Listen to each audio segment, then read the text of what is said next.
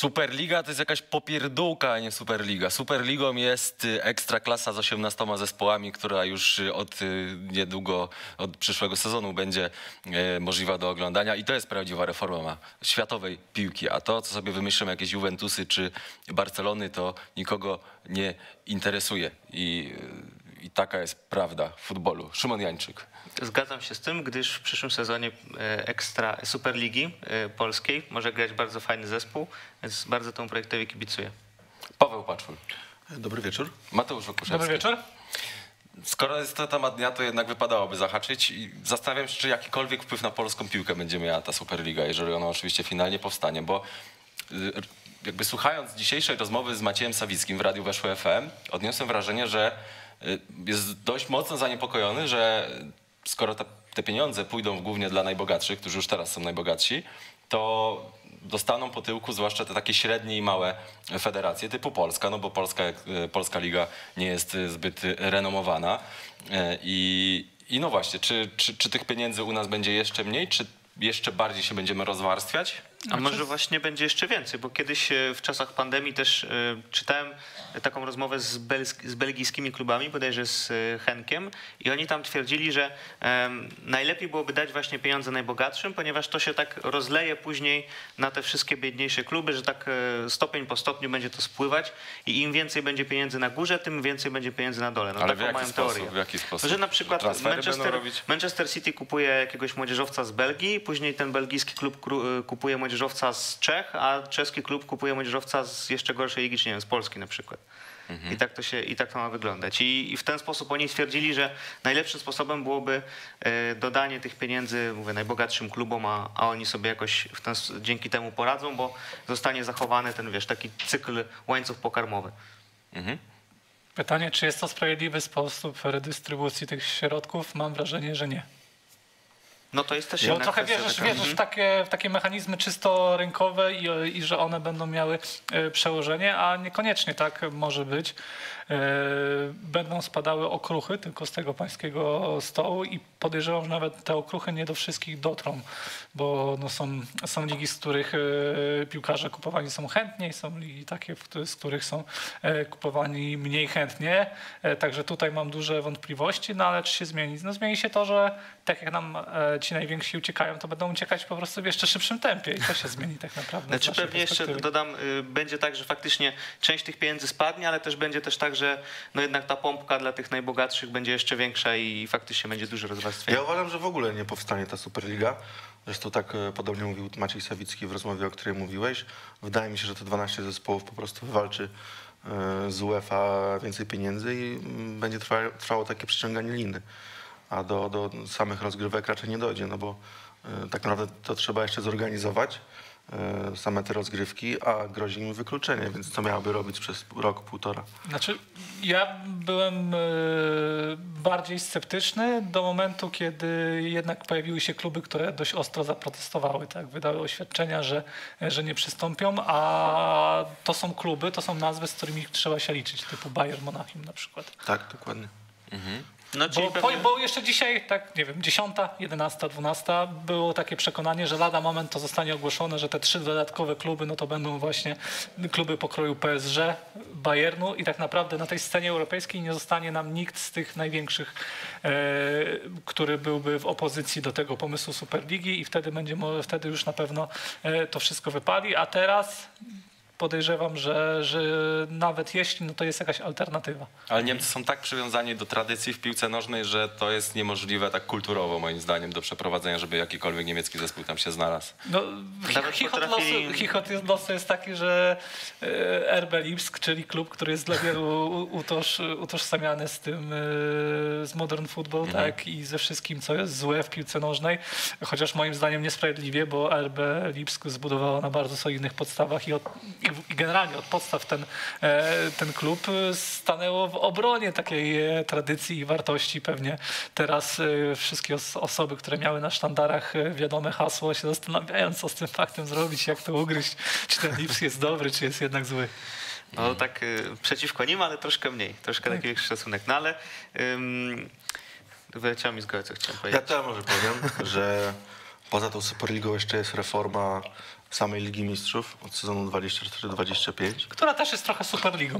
E, To raz, ale jest idiotyczna, wręcz bym powiedział. W ogóle sobie tego nie wyobrażam. 36 zespołów e, w jednej grupie, w jednej tabeli. E, Oczywiście nie ma czasu, żeby każdy zagrał z każdym, więc tam będzie 10 meczów. System szwajcarski tak zwany. Tak, ale drużyna 20 25 dopiero odpada. Ja sobie tego nie wyobrażam, że ja będę patrzył, że o Jezus, tutaj jest 25 miejsce, a tu jest 24, a tu 17. To nie jest w ogóle ekscytujące. Jeszcze w fazie, Ale z drugiej strony w fazie grupowej Ligi Mistrzów ta czwarta drużyna y, była out. Kompletnie. I to była tylko jedna z czterech, więc gra rzeczywiście o coś szła. A tu ja będę miał się jarać, czy Napoli będzie e, 17, czy będzie 18. To dobrze Może- wiemy, że i tak się nie jarałeś e, fazą grupową Ligi No Mistrzów. oczywiście, że nie. Ja, ja uważam, że reforma by się przydała Lidze Mistrzów. Natomiast nie rozumiem, zupełnie nie rozumiem tego Ale kierunku. niekoniecznie taka. Tak. Czy pewnie to się skończy tak, że właśnie te pieniądze się pojawią w Lidze Mistrzów, a nie w Superlidze, czyli faktycznie do jakiegoś rozwarstwienia dojdzie, natomiast na zasadzie e, zostania przy tych nazwach, które były. Zresztą też e, Andrea Agnelli, czyli ten jeden z założycieli e, Superligi, mówił, że to jest jego wymarzony system, ten system szwajcarski, więc I on to chyba wymyślał też, Tak, e, z tak, tego tak. co mówił Zbigniew Boniek e, na meczykach.pl, z tego co czytałem i teraz, teraz nagle tak się odwrócił. Nie no, trzeba powiedzieć, że tam chciwość tych ludzi jest porażająca. Taka smutna konstatacja. A będziecie bojkotować te y, rozgrywki, czy wręcz przeciwnie? Bo mi się wydaje, że to będzie trochę tak jak z tym RB Lips, które, y, y, o, których, o którym wspomnieliśmy, że na początku było dużo jakichś protestów, fali oburzenia, że gdzie Ale to, to pytasz kom- czysta nas, komercja. czy będziemy bojkotować? No Tak, nie, jako- bo to jako płacą, Pisa, pisanie, pisanie o piłce nożnej jest naszą pracą, to nie No wyobrażam to jasne, sobie. ale jako, jako wiesz, jak masz dzień wolny, wyobraź sobie i przemawia za tobą tylko dusza kibica. No, myślę, że jak będzie ciekawy mecz, to obejrzę. No to też trochę mnie bawiło takie pisanie, jak ktoś się opowiadał tak wyraźnie, że on ani jednego meczu nie obejrzy i to jest takie no sztywne stanowisko. No, jak mu każą w pracy obejrzeć, to przecież obejrzy. No nie powie, że nie ogląda meczu, bo on jest przeciwko Superlidze. Co to ma być w ogóle? Czy w dziennikarstwie można powoływać na klauzulę sumienia? No, być może. Nie no panowie, no, jak gra polska drużyna z białoruską, a tak było ostatnio, no to jakoś nie marudziliśmy, że tam są łamane prawa człowieka. Bez przesady z tym bojkotem. Tak, gdybyśmy mieli się doszukiwać e, takiej poprawności politycznej i, i różnych wątków, które, o które można zahaczyć i, i, i bojkotować i właśnie powoływać się na te klauzule sumienia, no to, no to byśmy mogli znaleźć coś, nie wiem, w meczach PSG, w meczach e, wielu drużyn. Tak Na przykład w meczu Celticu ja nie oglądam Ligi Szkockiej, od kiedy przekręcili Legię. I znaczy te wcześniej też nie oglądałem, ale, Ale to, można znaleźć ciąg logiczny. Ale No. Celtic też się brzydko zachowywał wtedy. Nie wiem czemu, ale z dwa tygodnie temu była trzecia w nocy i zacząłem czytać stare teksty na ten temat. Także... Ale ktoś chciał, pogadać o tym? To ja trochę wiem. Bardzo- Bardzo ciekawe życie. To nie jest To, to nie było tak, że. Celtic honorowo uznał, że a, przegraliśmy, Tak, nie odbierał telefonów od, od Legii, nie, nie odpisywał na maile. Także jakby ktoś chciał pogadać. Dzwońcie do Pawła jak coś. Jak chcemy 36 zespołów w Ekstraklasie. Spoko. Czemu? Heko Czerno byłoby wtedy w Ekstraklasie. Na przykład Jędrzejew by się Ja doturował już do powiedziałem, pierwszej 12 ligi. zespołów i to jest moja reforma i już nie ma co. No, właśnie e, Eksklasa mogłaby taką Superligę. Dariusz Mioduszki by skrzyknął prezesów gdzieś tam. Ale ja tak myślę, Tak, że tak pożyczka by, a to by miało sens. Jakby na przykład grały najlepsze kluby, nie wiem, Legia, Lech, Radomiak i Proszę cię. mnóstwo emocji. Proszę cię. Ten, Natomiast już nie załapał, Szymon, ten żart jest dobry na raz, ewentualnie siedem razy. A to był szósty i pół. No już dzisiaj był chyba trzeci. Nie, no ale wcześniej to był niedosłowny. Mogło mi chodzić o kogo innego. Szymon, przestań rozmawiać o e, Radomiaku. Dobra, przejdźmy do Ekstraklasy, bo to coś, co jest Superligą nas nie za bardzo interesuje, zwłaszcza w tym programie. E, czy dzbanem należy okrzyknąć pana Patryka Gryckiewicza, sędziego technicznego e, podczas Można, meczu Legii można z go Krakowem? nominować. Można go nominować. Natomiast pada tam słowa, ja to oglądałem wielokrotnie, debil. No i to jest kontrowersja, bo z jednej strony mówi to do ławki swojej rezerwowych, z drugiej strony no, no, no nazywa debilem sędziego, A jakby więc... powiedział do widzów, to jest debil, to byś się No obraził. to jest trochę zaawalowane, tak, że to, to trzeba być debilem, tak, że to jest bardziej zachowanie charakterystyczne dla kogoś, kogo możemy określić debilem, a nie, Nie no. powiedziane wprost, Ja oczywiście debilem. uważam, że sędzia tam się e, odkleił kompletnie, natomiast Nie- tylko żebyśmy byli e, Tylko, uczciwi. no tak, tak, tylko że no, trzeba mieć też świadomość, że to sędzia wzniecił pożar To prawda. i później się obraził na to, że płonie. Tak. Bo, Nie, nie, to- gdyby nie jego interwencja, tak naprawdę panowie, którzy znają się masę lat i są na e, towarzyskiej relacji, czy takiej stopie bardzo, bardzo mocno zaawansowanej, e, by sobie pogadali, po meczu by sobie podali ręce i nikt by na to nie zwrócił uwagi. Zabrakło doświadczenia, zabrakło wyczucia. Na to jest Twitterze- rocznik na 9-5 sen- tego sędziego. Na to Twitterze ewidentnie. był ciekawy wątek, że podobno ten sam sędzia miał wcześniej spinkę z Mateuszem Michniewiczem w trakcie meczu Centralnej Ligi Juniorów Arki Gdyni. No, to to, już- to, nie, był- to nie był żart, tylko faktycznie tak było. Znaczy to jest ciekawostka, nie to, że jakaś tam sugestia, że Mhm. to y, miał jakiś się. wpływ. Mścił Nie się no, z ja powiem tak jak. Stan napisał na Twitterze, że co by było, gdyby byli kibice. Jakby ten sędzia reagował, chyba jeszcze gorzej. Albo na czymś takim jak, nie wiem, derby Krakowa. Się działy cuda, no to tam by A pół, nie pół drużyny nie by słyszałby wtedy, co mówią, bo tak głośno było.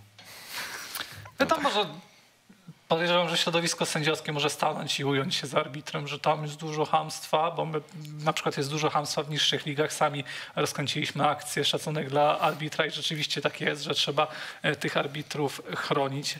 E, Gdy Cezary Stefańczyk nie uderzył Bartosza Frankowskiego, ale zaliczył z nim kontakt fizyczny, no to e, pisaliśmy to, to, co pisaliśmy, ale no, są pewne granice i dla każdego one mogą być płynne, ale wydaje mi się, że podciąganie tego, co się wydarzyło i, i próba obrony arbitra to jest mm, taki powiedziałbym szpagat, może nie nawet szpagat, tylko próba, próba stanięcia na, na głowie i zakręcenia się dookoła, co może się skończyć dość, dość tragicznie. No, jasne, jasne, że tak.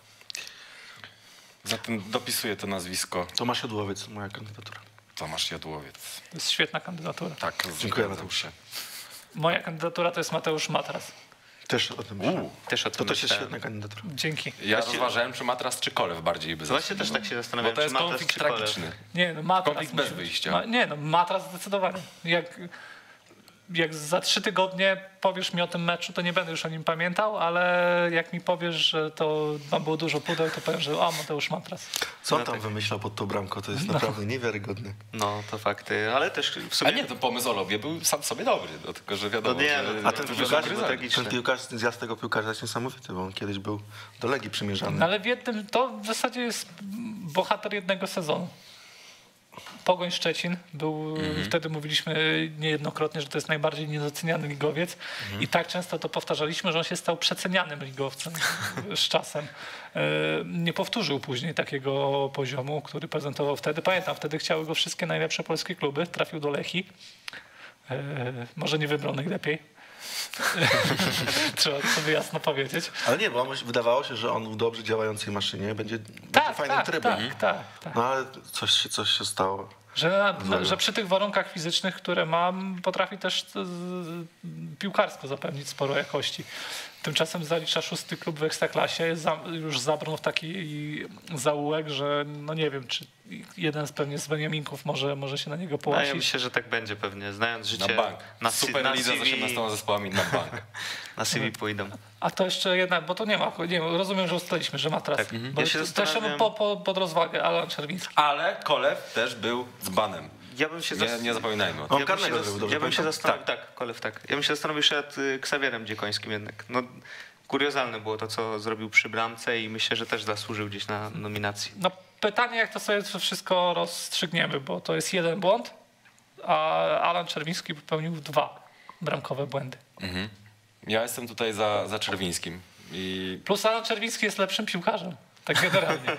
bo Dziekońskie no to takie, wiesz, chwilowe odcięcie prądu, a Czerwiński był Ale też ewidentnie go, pod Natomiast- znaczy, no, ale- zgadzam, ale zgadzam się tyle, że trochę, Dziekoński zaliczył zjazd trochę w porównaniu do tego, co No no, to- nie, nie wytrzymuje trudu, trudów sezonu. Tak. Że też nie jest jego pierwszy błąd, bo chyba z, Zagłębiem też popełnił błąd, jak dobrze kojarzę. Z No, Wisłą Kraków popełnił błąd, A tylko że tam bronił, tam bardzo dobrze. To, tak? to nie jest tak, że on jest, że no teraz on ma mówię, że 17 jest lat zły, przede nie? wszystkim. Ale tak y, ma taką tendencję, na przykład... No tak, Ostatnio y, się zaczął wychodzić do dośrodkowań i często się mylił. Tak, ma chyba więcej błędów niż, nie wiem, Cezary Miszta, który też tam, jak wchodził do ekstraklasy, to, to troszkę tak No, ale y, się Cezary mijał. Miszta mało meczów zagrał na razie. To fakt, A też popełnił błąd na Jagiellonii. tak. A to waszym zdaniem to brak doświadczenia tu przy Dziekońskim wychodzi? No, tak Czy, jak powiedział czy poczuł się zapewnie? bardziej trudy sezonu, że no, to jest chłopak, który... e, tak, no to jest, jest jego y- pierwszy tak naprawdę, na, naprawdę, naprawdę pierwszy e, sezon w takim wymiarze czasowym. No i będzie zbierał takie błędy. No Drągowski też nie był od razu no, wybitny. Powiedzmy sobie wprost, ma prawo do tego, natomiast no, my też mamy prawo się gdzieś wytknąć. Mhm. Nie, z Drągowskim była trochę inna historia, bo on bardzo szybko stał się najlepszym bramkarzem w lidze, jeszcze przed osiemnastką, a, a dopiero w drugim sezonie, kiedy troszeczkę mu chyba zaczęło odbijać, yy, trochę zjazd zaliczył, bo to się zbiegło z różnymi odpałami pozabojskowymi, typu faki na legi, typu ta zapalniczka. Zabójcza i tak zapalniczka. Tak. E, Plus p- i, To na leki było i, chyba. tak, i palec w tyłek Szymona Skrzypczaka. Tak. Nie no, bardzo bardzo. A to jest popularny. Szymon Skrzypczak do dzisiaj się nie podniósł, dzisiaj gra tylko w drugiej lidze. A to jest popularne. Ale jest jeden z w Ekstraklasie, bo jeszcze przecież Arboleda tak robił Smarykowi i... A nie, Gytkier to tylko pokazywał, że będzie, żeby chciał. A Gytkier z Celemanem, nie? Tak. Tak, tak.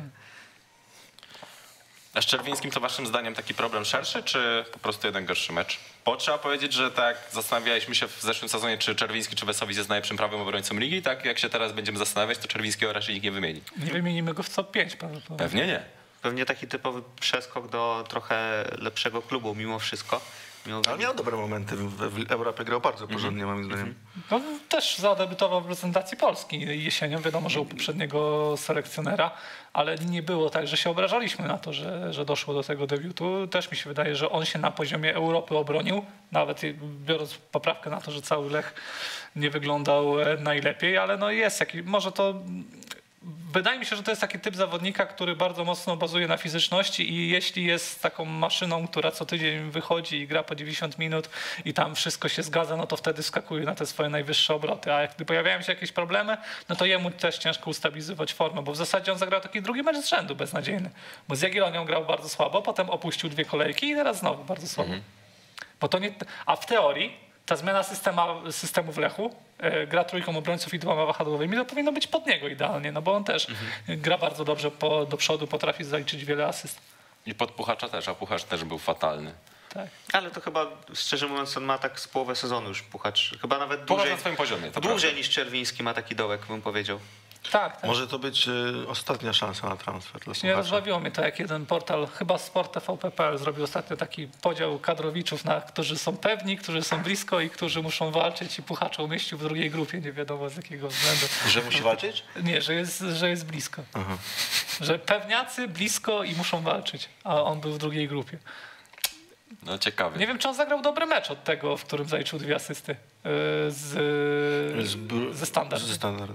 Sprawdzę noty On, Puchacza. mm, mi się wydaje, że nie.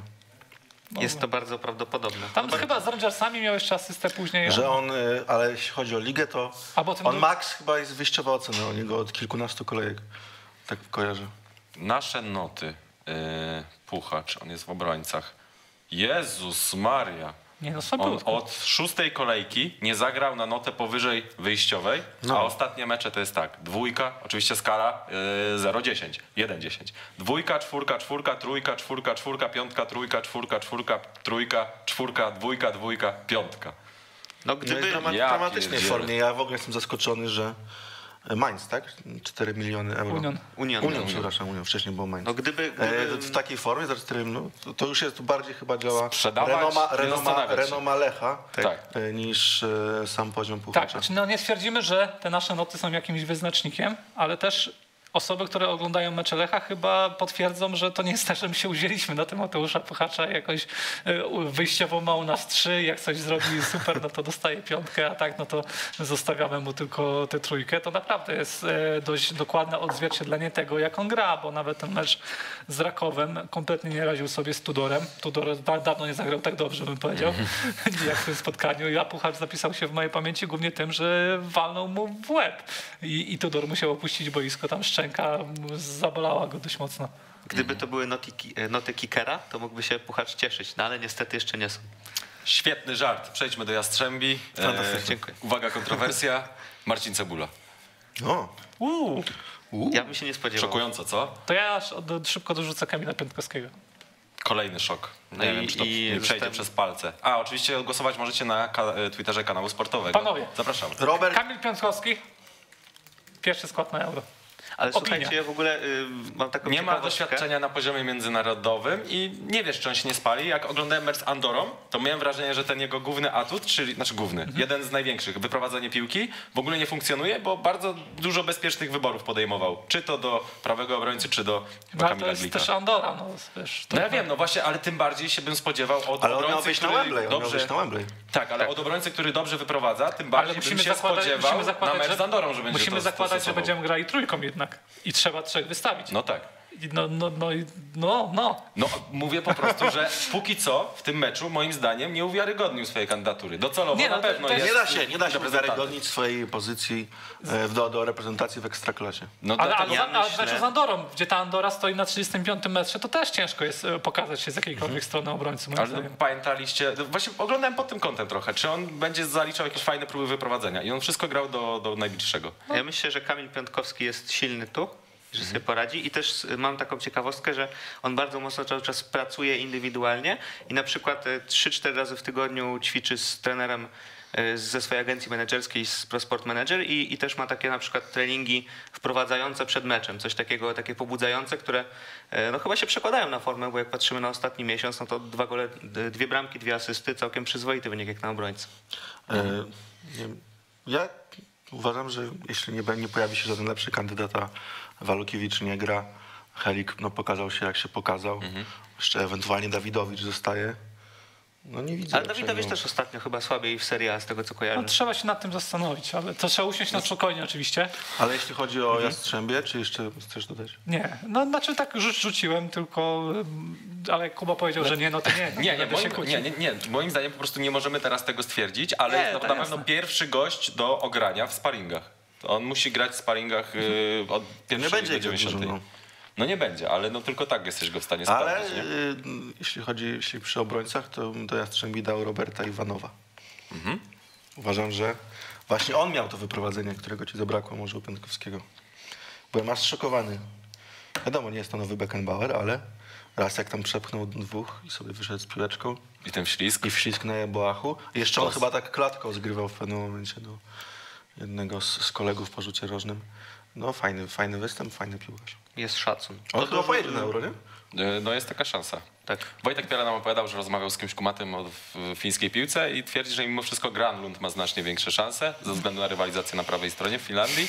Iwanow ma trochę lepszą konkurencję, ale no jak Znaczy będzie tam tak grał, w to, pierwszym składzie Arajuri z Toivo. e, no Toivo jest z jakichś powodów bardzo dobrze postrzegany w Finlandii. Znaczy, no wiesz, no, nie, nie, nie byłby to pierwszy przypadek piłkarza, który jest solidny i gra dobrze, a u nas sobie nie poradził. To prawda. To fakt. Co do Jastrzębi, to chyba możemy zamknąć się Jesusem i Mazem. Chyba zasłużył. Całkiem niezły występ. No, tak, no, i tak i nie. No. Ja się bardziej bym przychylił do kandydatury Michała Kucharczyka, który potwierdził, znaczy odbił się po słabej jesieni, gra wiosną bardzo dobrze i naprawdę zaczyna to fajnie wyglądać też pod względem liczbowym, bo on już ma w klasyfikacji kanadyjskiej, biorąc pod uwagę to, że jesienią miał dużo pustych prze, przelotów, tam chyba tylko dwa gole strzelił, to już ma 8 punktów yy, i tak naprawdę niewielu jest skrzydłowych, które, którzy mają więcej. No trochę go ukradli z asyst w tym meczu, więc na pewno zasługuje. Moje kandydatury, które sobie wypisałem, to było Cebula, Piątkowski, Iwanów i Kucharczyk. No i- Co Trafiłem. ekspert, to ekspert. Więc A dajemy. ten Zimazu się wychylił. No, to specjalnie, żeby tak zaburzyć. Wiesz, Imas, Imas yy, no szkoda, że ta, ta druga bramka została, mm, znaczy nie padła, ale to trudno też Imaza obwiniać, bo to jest taka mijanka, w której O długość kolana był ten spalony. Ma długie kolana najwyraźniej. Trzeba mieć krótkie kolana, żeby grać w ekstraklasie. To jest prawda życia. E, Dobrze, bąbelki, moi drodzy. Ze swojej strony chciałem e, nominować e, Kacpra Kozłowskiego, który naprawdę bardzo fajnie się rozwija i, i strzelił swojego pierwszego gola. No, totalnie zasłużona kandydatura, jeden z najlepszych młodzieżowców w skali całego sezonu. Na pewno objawienie ekstraklasy. to ja wymienię najlepszego. Kamil Piątkowski. Tradycyjnie. Ale tym razem, bo zawsze było tak, że no, dawaliśmy szóstkę czy coś, a był Tak. taki, można by go było z automatu wystawiać, a wydaje mi się, że No, u nas dziewiątkę dostał, ale zasłużenie właśnie, bo często tak nie doceniamy, to będzie tak no, podpompowane najlepszy, troszkę. obrońcy, najlepszy występ obrońcy w tym sezonie, tak bym powiedział. To dla porównania z puchaczem noty Kamila Piątkowskiego. 9, 6, 6, 6, 5, 5, 6, 5, 5, 5, 6, 5, 6, 6, 6, 6, 7, 6, 4. Tylko dwa razy był oceniony poniżej noty wyjściowej. No to. Gdyby to mega, były mega noty austriackiego kickera, to bym się martwił. Y, Dobre. To Moim tak. zdaniem jest, jest, znaczy no tam nie ma dziewiątki, no to wiesz. Dobra. Moim No dobra. zdaniem jest e, pewniakiem do 11 sezonu w tej chwili. Tak. Y, Co do y, W ogóle dalej... nie wiem, czy nie powinniśmy 11 sezonów wystawić w systemie z trójką obrońców, bo już tak dużo klubów gra w systemie trójką obrońców, że to najbardziej adekwatne. Już nawet dzisiaj mamy wybory Tak. 11 kolejki z trójką obrońców, bo e, sprawdziłem sobie wszystkich bocznych obrońców, chyba tylko jeden się wyróżniał, konkretnie Jakub Bartkowski, biorąc pod uwagę i prawych i lewych. E, Bąbelki, tak? Dalej Mhm. kontynuujemy. Może Kamil Kruk też, jak tak obrońcami lecimy? Wydaje mi się, że Bo- solidny mo- występ. Moim zdaniem spoko. No. No i jak jeśli, jeśli Stal Mielec ma i expected goals na poziomie 3,33, to trudno też stopera jakoś Dla mnie zgodzę się z Mateuszem, chociaż wczoraj powiedziałem, że ten duet kruk oko. W porównaniu do Cena Markowicza, chociaż to nie jest najgorszy. No to też na pewno wpływa na ocenę, że, że tak pozytywnie podchodzą, bo jak pamiętasz może- no. wcześniej Curno Markowicza, to masakra. Może na wyrosta Żukowski? Może Bida? Bo on jest takim piłkarzem, który ma więcej tatuaży niż dobrych zagrań. Mhm. A w tym meczu wszedł i no, miał udział przy tej bramce. no tak, w sumie, no w sumie kluczowy To piłkarz jest, dla losu przy, przysięgam nie? wam, przysięgam wam, że to może być jego pierwsze udane zagranie, takie konkretne No na, ale to na tak poziomie naprawdę ma, ma nominację za to, że minął piłkarza jednego. Ale wiesz, że driblingi w ekstraklasie to nie jest jakieś codzienne. No ale to, gdyby, gdyby jakiś piłkarz miał gorszy dzień, to też byś mógł go minąć. Nie. Przykładowo w poprzedniej kolejce chyba była taka sytuacja, że albo w tej nawet e, Górnik Zabrze, taka była akcja, że ktoś się pośliznął i, i to był taki udany dribbling, który się zakończył bramką, więc Dobra, ja bym, ja, bym, ta- ja bym tak czy siak dał Bidę, bo jest, jest pewien renesans. Mhm. Zgadzam się i możemy wybrać czy Kruk, czy Żukowski. Ewentualnie jeszcze Bejger nie zagrał. No to nie musimy na siłę, możemy dać Ławniczak zawsze, nie? jeszcze. to może dajmy tego Bejgera, żeby tak nie było na siłę. Bo chyba, chyba Ławniczak Śląsk szóstkę mu dałem, możemy dać szóstkę. Ławniczak był w cieniu Iwanowa, ale zagrał dobrze, Tak, ale to był duży cień. bo Iwanów jest duży. Wysoki w sensie. Dobra, no to podejmę decyzję. Be- Bejger, Ławniczak, Żukowski, Kruk. Każdy po jednym. No to ławniczek. Zapomniałem o nim. To ja Ławniczak. No dobra, to powiem Kruk, żeby mu nie było przykro. Ale Ławniczak ma już 2-1, więc okej. Dobra, to ja mówię Bejger, żeby nie zepsuć ankiety. Więc y, Aleks Ławniczak. Y, I jeszcze mamy Borysiuka. Będzie szalenie trudny wybór. Nie wiem, co wybierzemy. są dwie w miarę poważne kandydatury, z czego jedna jest najpoważniejsza, Jedna jest bardzo poważna nawet. a druga jest taka mniej poważna, ale ciekawa. Mianowicie pierwsza to oczywiście Cebula, a druga to Piasecki. Bardzo ładna podcineczka. Tak, mi też się Ja podoba. uważam, że bramka Warty była ładna. No, gol był całkiem ładny, tak jeśli chodzi o takie wykończenie. Jeśli chodzi o Ale- akcję całą. Tak, tak. Ale ja też mówię o całej akcji Warty. Chociaż No- przy tej akcji rozśmieszył mnie bardzo Damian, Damian Rasak, który nie wiem na co liczył. To był kontakt w środku pola, on sobie upadł i, i leżał, i leżał. Dzwonił do mnie przed programem znajomość z Płocka i mówi, że on dalej czeka na gwizdek. Myślałem, że mówią, Damian, tak- w trakcie akcji do ciebie zadzwonił. musimy reflektorium gasić. On, nie, czekajcie, może ktoś zagwizdże. Znaczy, szacuneczek dla niego, że się przyznał w przerwie, że źle zrobił i popełnił błąd i liczył, że to naprawi. Z drugiej strony się nie udało, bo przy tym golu Bidy to też był spóźniony tam dość ostro. I, i, i generalnie nie miał, miał pozytywnych zagrań w drugiej połowie. Może docenimy w jakiś sposób tę bramkę Szwocha, bo nie daliśmy Dziekońskiego do, do dzbanu. Bramka bezpośrednio z wolnego i nie będzie nominowana. I bramka No właśnie, Sokolskiego z dystansu Ja tak kiedyś- nie będzie nominowana. Jakiś tak też puściłem bramkę jak Dziekoński. Ale, szw, ale szwok właśnie tak robi liczby. To jest te, takie żebracze są te liczby. Tak. Ale jakby Ale ktoś to- to- patrzył to tylko jest- na liczby, to to, to player, to No pewnie, wyjazd tak, to Serie B, specja A co, to jako asystę?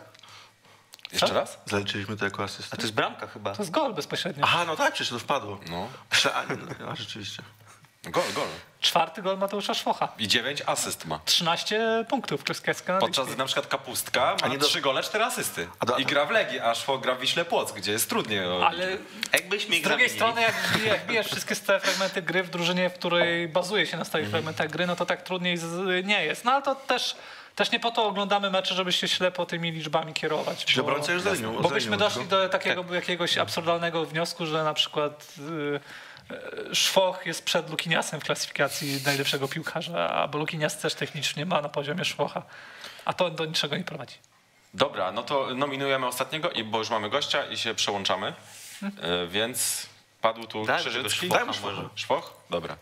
Jaki Krzyżycki, co ja mówię? Ja myślę, że on, e, Kuzimski, się- ja, Tak. ja myślę, że on mierzył tak. E, Dobra, ankieta poszła, możecie e, głosować, a my mamy Jakuba Kuzdrę z Warty Poznań na antenie. Witamy cię Kuba serdecznie. Dzień dobry wszystkim, witam No serdecznie. już od razu pozytywnie widzimy, że jesteś nastawiony, bo ostatnio tak fajnie wypadłeś w rozmowie, że stwierdziliśmy, że jesteś idealnym kandydatem do ankiety Weszło z butami. A dziękuję bardzo, dziękuję, cieszę się. Ale wyniki takie, że chyba ten uśmiech to ci raczej nie schodzi z, z twarzy, co? No tak, naprawdę cieszy to, cieszy na pewno te, e, te trzy punkty, które teraz dopisaliśmy z Wisłą i, i poprzednie mecze, gdzie, gdzie, gdzie mało bramek tracimy i wygrywamy. No gdzieś pniemy się w górę tabeli i już nie oglądamy się za siebie, tylko na luzie po prostu do przodu chcemy jak najwyższe miejsce. A co, w Pucharze Polski kibicujecie Rakowowi, czy nie patrzycie w ogóle w, w czwarte miejsce? E, patrzyły, patrzyły. Ja, ja szczerze sam powiem, że, że moja mentalność też się zmieniła gdzieś tam, e, jak grałem wcześniej może w Bytowi czy, czy w poprzednich klubach, no gdzieś tak nie przyjmowały mnie tak bardzo te porażki jak na przykład teraz. Gdzieś, gdzieś trenerzy, tutaj trener Tworek wpoił to w nas, że, że po prostu chcemy wygrywać, nie? No, że tu, to, to już nie jest tak, że jak kiedyś na przykład no, Bytowi ja wiadomo spadłem, w Polonii Bytom spadłem i gdzieś tak już ta, w głowie chodziło, to ta porażka to już nic nie jest złego, a teraz po prostu taki nawyk złapałem, że chcę wygrywać, chcę cały czas wygrywać i na pewno myślę, że dużo chłopaków tak z drużyny również chce i, i no i każdy meczu będziemy dawać siebie 100%, żeby jak najwyższe miejsce, tak jak powiedziałem wcześniej. Okej, dobra, przechodzimy do ankiety. A masz jakiegoś takiego wymarzonego rywala w europejskich pucharach, y, na którego chcesz trafić, bo interesujesz się Jakaś flo, egzotycznymi... Flora Tallinn może. Nie, ja, e, Molde, Molde, chciałbym tam pojechać i się z nimi ponaparzać, nie? Chciałbyś dać im w. Aha. Tak, Molde. Różowe korki czy czarny old school? Only czarny, only czarny. Okej. Pisanie raportów pomeczowych u Papszuna na trzy strony, czy ciężkie treningi Petera Chybali? Ciężkie treningi Petera Chybali. Wolałbyś mieć w drużynie Pekharta, na którego zawsze można zagrać lagę, czy Świerczoka, który może wymyślić coś z niczego? A mogę Kuzimskiego jeszcze dodać? Kuzima wolę na z nich trzech, z nich dwóch. No i dobrze. Oferta z drugoligowego tureckiego coś tam sporu z dwukrotnie wyższymi zarobkami. Odrzucasz czy lecisz się pakować? Nie no, pakuję się, ja już jestem, mogę na dzisiaj, teraz. Okej, Ale- ale... to po prostu jakikolwiek kraj e, w miarę egzotyczny cię interesuje i dlatego, czy, czy Turcję jakoś sobie upodobałeś? Nie, no Czy zarobki? na obozie, spodobało mi się, ciuszki bym przywiózł, nie, nie no, śmieję się. Ale nie no, druga liga nie, nie jest taka zła przecież, nie? nie? Gdzieś tam zawsze można awansować i, i być y, w topowej lidze, nie? I zagrać z Galatasaray, Fenerbahce. A trzeba mierzyć wysoko i... Znaczy wiadomo, że to nie jest jakaś y, naj, najlepsza liga, dla której chciałbym, do której chciałbym trafić, ale, ale myślę, że bym rozważył taką decyzję i myślę, że bym poleciał. Okej. Gra bez kibiców jest łatwiej, trudniej, czy nie ma to żadnego znaczenia? Eee, ja uważam, że no powinni być ci kibice, bo kurczę, no to, to jest całkiem inny. Jest, jest tam ten pierwszy sezon, można powiedzieć, takiej ekstraklasie, gdzie, gdzie grałem, bo byłem tam w Piaście, no ale nie grałem, ale teraz i, i naprawdę brakuje tych kibiców. Ja, ja bym wolał, żeby nawet nie wyzywali ten cały mecz gdzieś tam na wyjeździe, ale, ale żeby jednak byli gdzieś tam, gdzieś tam ten doping, no to emocjonuje na pewno i dodaje tego klimatu e, tym stadionom pięknym, które są w ekstraklasie. A, a jak zazwyczaj cię kibice wyzywają? A różnie. Łysa pała. nie no, to tak w pierwszej lidze gdzieś tam jak przy kibicach byłem, ale tak, tak, tak z reguły to jakoś nie miałem jeszcze tak. No chyba, że wrogiego klubu, e, któremu kibicuję. E, Studia, jesteś na tak czy na nie, bo lepiej skupić się na piłce? No studia? Nie, nie jestem na nie. Jestem na nie, bo ja, ja gdzieś tam szkołę zostawiłem niestety i teraz chcę wrócić. Gdzieś tam głupie, głupie błędy z dzieciństwa. No po prostu chciałem się skupić na piłce, gdzie, gdzie w Piaście wtedy miałem 17 lat i ja musiałbym opuszczać treningi. No nie było tak, że indywidualnie mogłem chodzić czy coś, tylko po prostu no wolałem trenować gdzieś tam, gdzieś tam piłka była dla mnie zawsze numerem jeden i będzie, ale, ale teraz, y, teraz tak y, powoli rozsądek łapię, no i chcę wrócić do, do szkoły. Chcę teraz od następnego semestru. E, Sodówka za tobą, czy przed tobą? E, myślę, że za mną, za mną, za mną. Gdzieś tak jak mówiłem kiedyś już właśnie, że w Polonii Bytom, w Polonii Bytom właśnie ta sodówka bo totalnie mi wybiła się z głowy, gdzieś e, nauczyłem, e, to była szkoła życia i, i myślę, że już nigdy mi nie, nie odwali do głowy. Całowanie herbu, tak czy nie? Ale tylko jednego klubu unitarnów. Okej. Okej. E, Kiedy masz dwa dni wolnego i musisz się zresetować, to Ja najbardziej lubię tam do siebie, do rodzinnej strony, do Wysocławic jechać, gdzieś tam zawsze e, rodzina, przyjaciele, rozpalamy grilla, dużo ludzi przychodzi. E, Gdzieś tam fajnie jest tak nawet jak e, przy, przy piwku nawet, no wiadomo, gdzieś jest wolne, no to można jedno czy dwa i, i posiedzieć, pogrillować, pogadać, pośmiać się. Tak po prostu taki, taki odskocznia troszkę od tej piłki przy weekendzie, jak jest wolne, nie? Mhm. Gdzie w Poznaniu zabrać dziewczynę na randkę? A na przykład ja lubię bardzo knajpę Whisky in the Jar, gdzieś tam e, po meczu lubię na steka iść czy coś i, i tam najczęściej wybieram się, gdy było otwarte, no a, no a teraz to ciężko, no jak jest lockdown, no to, no to na randkę, no to na spacer możemy iść na Maltę no, e, i pieskiem. Co zamawiasz, gdy masz cheat day? A, różnie, maka, KFC, ja jakoś tak się nie ograniczam się do jednego, kebab, kebab też zjem, więc nie ma problemu. Czyli w zasadzie masz cheat day cztery razy w tygodniu. Nie, no nie, nie, ale po meczu, po meczu e, różnie, różnie. Zależy na co mnie Michał Jakubowski zabierze. To, to my razem jesteśmy takimi dietetykami troszkę bardziej. Ale to już wiemy, kto wygra tego kebaba za Mistrzostwo Poznania, kto go spożytkuje, bo to chyba był taki zakład. A słyszałeś o tak, tej tak, akcji? jest, jest cały czas, jest cały czas. Okej. Yy, Gdybyś miał iść w życiu tylko na jeden koncert, to czyj koncert by to był? Kueba na fide. Okej. A wy się kumplujecie chyba, nie? No tak, tak, mamy tam kontakt. y, Wcześniej mieliśmy dużo większy, no bo teraz wiadomo, gdzieś tam gdzieś troszkę mniejszy, ale, ale cały czas coś tam piszemy do siebie, jesteśmy w kontakcie i, no i, i lubię, lubiłem jak jeszcze nie było lockdownu, gdzieś tam y, w święta, jak było trzy tygodnie wolnego, wybierałem się zawsze z narzeczoną na jego koncert, gdzieś tam na backstage, coś na scenę. No to, to dla mnie to ogień, to, to czegoś takiego, to trzeba, warto przeżyć coś takiego po prostu. Po płycie egzotyka się wzięła ta sympatia? Nie, no my już się tam znamy gdzieś tam y, ponad prawie 6 lat i gdzieś jak jeszcze już był y, taki rozpoznawalny jako raper, ale jeszcze to nie była taka skala, mi się wydaje, jak teraz jest. I wtedy się tak poznaliśmy, gdzieś tam przyjechał do mnie na mecz Piasta, ja, ja zabrał mnie na koncert do siebie później. Y, Gdzieś tak złapaliśmy y, takie, takie, takie ziomki po prostu. Okej. Przyjechał do mnie do Wiesławis, przyjechał do mnie do Wiesławis, też zagrał z y, Krzysztof, też przyjechał DJ Moj, Wojtek Koziara, fotograf, zagrali z chłopakami tam ode mnie ze wsi, z dziećmi. I gdzieś tam na pewno im mega frajdy sprawili i też nigdy tego nie zapomnę. I, bo ja też jestem związany właśnie z tą wsią, gdzieś tam, gdzieś tam chcę zawsze ich wspierać i, i nie zapomnę nigdy uśmiechu tych dzieci, dzieciaków, gdzie, gdzie dostali tam koszulkę czy coś i naprawdę fajne przeżycie. Okej, bardzo pozytywne. To pytanie, które jest stricte do ciebie w sumie. Miejsce na ziemi, w którym najbardziej chciałbyś zamieszkać?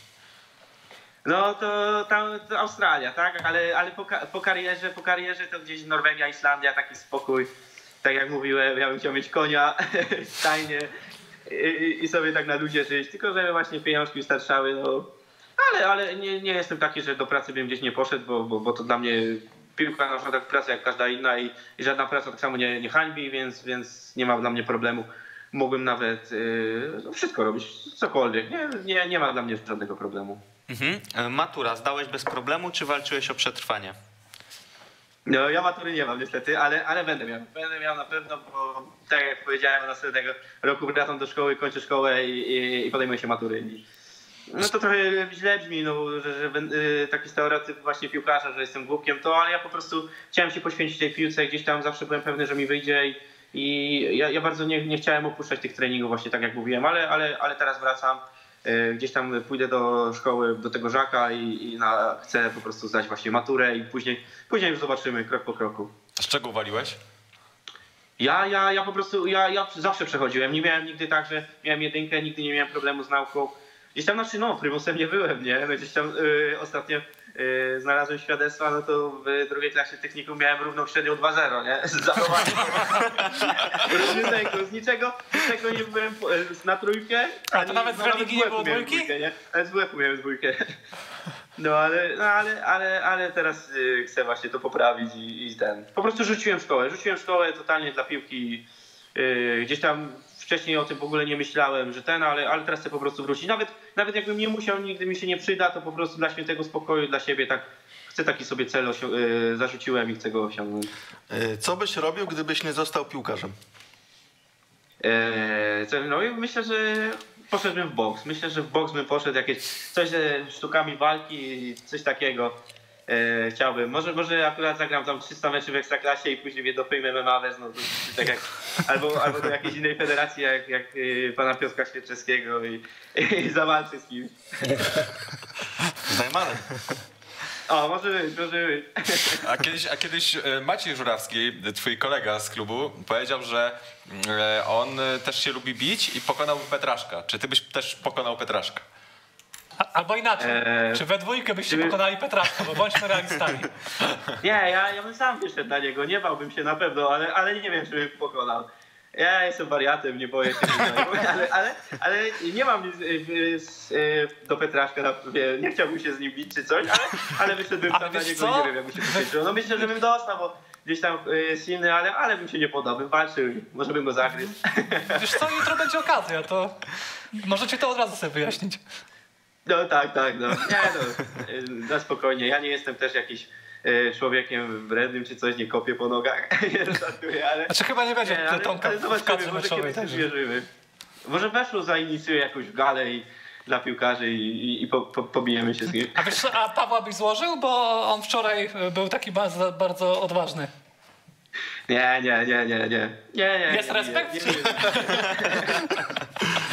Bo on mówił, że w 3 sekundy by się złożył. Nie mówiłem tak, czy Kowala bym złożył. To, to ja go wiedznę, to ja go wiedznę. E, Na co wydałeś pierwsze zarobione w piłce pieniądze? Yy, Pierwsze pieniądze kupiłem sobie dwie bluzy, bo pamiętam, że w Unii Tarnów e, e, miałem jakąś tam umowę amatorską, ja nie pamiętam nawet jak to było, gdzieś tam 400 zł dosta- miałem dostawać, miałem dostawać właśnie, bo dostałem w rok chyba trzy wypłaty wtedy i gdzieś sobie kupiłem po prostu, chciałem tak e, trochę lepsze buty chciałem sobie kupić, bo e, po prostu bluzę wydałem jakąś i, i buty, buty na, za te dwie wypłaty właśnie. A to a propos pieniędzy. y, Pożyczanie czy kupowanie zegarków z AliExpress i sprzedawanie w lombardach? Nie, kupowanie, kupowanie w AliExpress, trzeba sobie radzić. Ja, ja, ja też jestem, e, przeżyłem to na własnej skórze, że często trzeba kombinować w życiu, że nie jest zawsze, nie jest zawsze tak, tak wesoło i, i wiem po prostu, jakie życie jest e, ciężkie, jak się wchodzi w to dorosłość. Gdzieś tam, e, gdy nie dostajesz tych pieniędzy też, no, no wiem po prostu, przeżyłem to na własnej skórze, więc AliExpress. Ale to powiedz, jaki miałeś pomysł wtedy na, na to, żeby sobie radzić. Aha, no to no było tak, że nie dostawaliśmy w Polonii bytom y, wypłat. No gdzieś tam były opóźnienia dość duże, no i ja tam no już po prostu nie chciałem pożyczać od rodziców pieniędzy. Wiadomo, że jak przyjeżdżałem na weekend, to gdzieś tam dostawało się tego kotleta ta- do słoika, jak to się mówi, nie? Czy, czy, czy, czy coś tam, jakieś jajka od dziadzia, babci yy, dawali, ale, ale no, no, no nie, nie szło tego cały czas jeść, nie? No wiadomo, też kurczę, trzeba dbać o siebie, ale, ale był taki moment, że pamiętam, że, że, że często chodziłem na sznycle, same sznycle za 3 złote, nie? Że po prostu brałem sznycla za 3-4 złote i pani się mnie pytała, nie? Ale to pan z niczym? Nie, nie, nie, nie, tylko sznycelkę ja tam w domu sobie już zrobiłem, nie? To nie. I, i, i, w końcu wpadłem na pomysł gdzieś tam, zamówiłem sobie jakieś podróbki tych y, zegarków z AliExpress. Mówię, dobra, no to taki głupi pomysł, no ale no, będę udawał, że jestem trochę cyknięty, będę wchodził do lombardów, że no rodziny panie muszę mieć dla, dla dziewczyny to, że muszę pieniądze jakieś zdobyć. No i wchodziłem do tych lombardów, no i ta pani tak ogląda te zegarki. Ja je kupowałem za dychę, nie? No to nie było jakieś dużo, ale jakoś trzeba było sobie radzić. No. I ona mówi, 22 panu dam. Weź, że pani da 25. No i tak jakoś się udawało to ukrywać. No, ale to było- człowiek 18 lat miał, no to, to, to, to nic go tak nie blokowało, no kurczę, to taki głupi człowiek był, ale, ale zaradny. No tam fajne wspomnienia są i, i, i cieszę się z tego, że, że, że jakoś to kombinowałem, żeby przetrwać. Ale 22 zł czy 22 tysiące? 22 zł. 22 zł to nie było jak Bo już chciałem, ja już wstawałem i wiesz, do, do komputera. Mam nadzieję, że skarbówka mi się nie, nie, nie przyczepi jeszcze. Nie? Okej, do czego nigdy nie robisz w dniu meczu? E, Czego nigdy nie robię w dniu meczu? E, Nie wychodzę piąty nigdy na boisko. Nie chcę zawsze być piąty stać. e, w tym, tak, Nie wiem dlaczego. Tak mi się jakoś uwaliło zawsze, że piąty nie mogę stać e, w rzędzie, jak wychodzę na, na, na, mecz. Film bądź serial, który możesz polecić bez zawahania. E, No to seria, to chłopaki z baraku, to polecam wszystkim. Jak każdy oglądnie to, bo to jest najważniejsza rzecz na świecie. No, myślę, że nakręca bardzo pozytywnie, gdzieś tam dużo radości daje. No, wesoły generalnie. A film? E, Film to... Ciężko mi powiedzieć. Może jeszcze jeden serial. Ja Świat według kiepskich, o. Bardzo polecam. To na pewno wszyscy znają. A jaka jest twoja ulubiona scena z chłopaków? Z chłopaków z baraku? Odpowiedzialność, odpowiedzialność. Yy, Na jakiej grze komputerowej straciłeś najwięcej czasu? O, to GTA San Andreas. Ja do tej pory gram, do tej pory gram GTA San Andreas od 2009 roku. Miałem tam przerwę dwa lata, ale no roleplay przez internet, takie, takie no, Los Okej. Angeles, nie? gangi i to wszystko. I to ja gram cały czas tam gdzieś tam z ziomkami wieczorem, czasem wejdę. No nie, nie codziennie wiadomo, ale przy weekendzie czy coś to tam pogram. Czy jest jakaś dziedzina, w której ciężko cię zagiąć? O, dużo, dużo. Ja tylko tak generalnie, generalnie to w sumie tą piłkę tak, tak interesuję się. No i gdzieś tam lubię pooglądać e, o krajach, e, no ogółem o całej Europie, w ogóle świecie, gdzieś tam tych podróżników, gdzieś co mają kanały na YouTubie. Mhm. Przepisy o ręce w polu karnym są czytelne, czy należałoby je uprościć? Nie, dla mnie są czytelne. Tam może się zmieniają co roku, ale gdzieś tam się dostosowuje. W ogóle nie zagłębiam się w to. Ja, jak, jaki jest przepis, tak się dostosowuje, to nie, nie robi mi różnicy. Gdybyś został niesłusznie oskarżony, a sprawę w sądzie miałby prowadzić jeden z ekstraklasowych sędziów, kogo byś sobie życzył? E, Chyba sędzia Gil. Uuu. A którego sędziego wolałbyś unikać? A tak szczerze to, to nie mam pojęcia. Chyba nie mam takiego kurczę jakiegoś. Bo może wy podajcie, jakiego powinienem. Nie wiem. Ja wiem, kogo pan Wojtek Kowal chyba chciałby unikać. No nie wiem, myślałem, że wy, wy powiesz Frankowskiego, bo załatwił wam ten awans. Nie, nie, nie, nie, nie mam takiego, nie mam takiego. Nie mam takiego. To przepisy o faulach w polu karnym. Proste, znaczy uprościć czy czytelne? E, czytelne, czytelne. Tak samo jak ręka. Okej, niedziela bez handlu. Zabieranie wolności czy dawanie wolności? E, No ja bym chciał, żeby ludzie mieli wolne jednak w niedzielę. Nie, niech sobie odpoczywają z rodzinką i niech będą zamknięte sklepy. Mhm. Gołębie w miastach. Sypać im ziarno, czy traktować miotaczem ognia? E, sypać ziarno. Mój dziadek ma gołębie, ja bardzo lubię przyjechać na wieś, zjeść sobie śniadanko na polu, popatrzeć na gołębie. To takie dziwne trochę, ale lubię.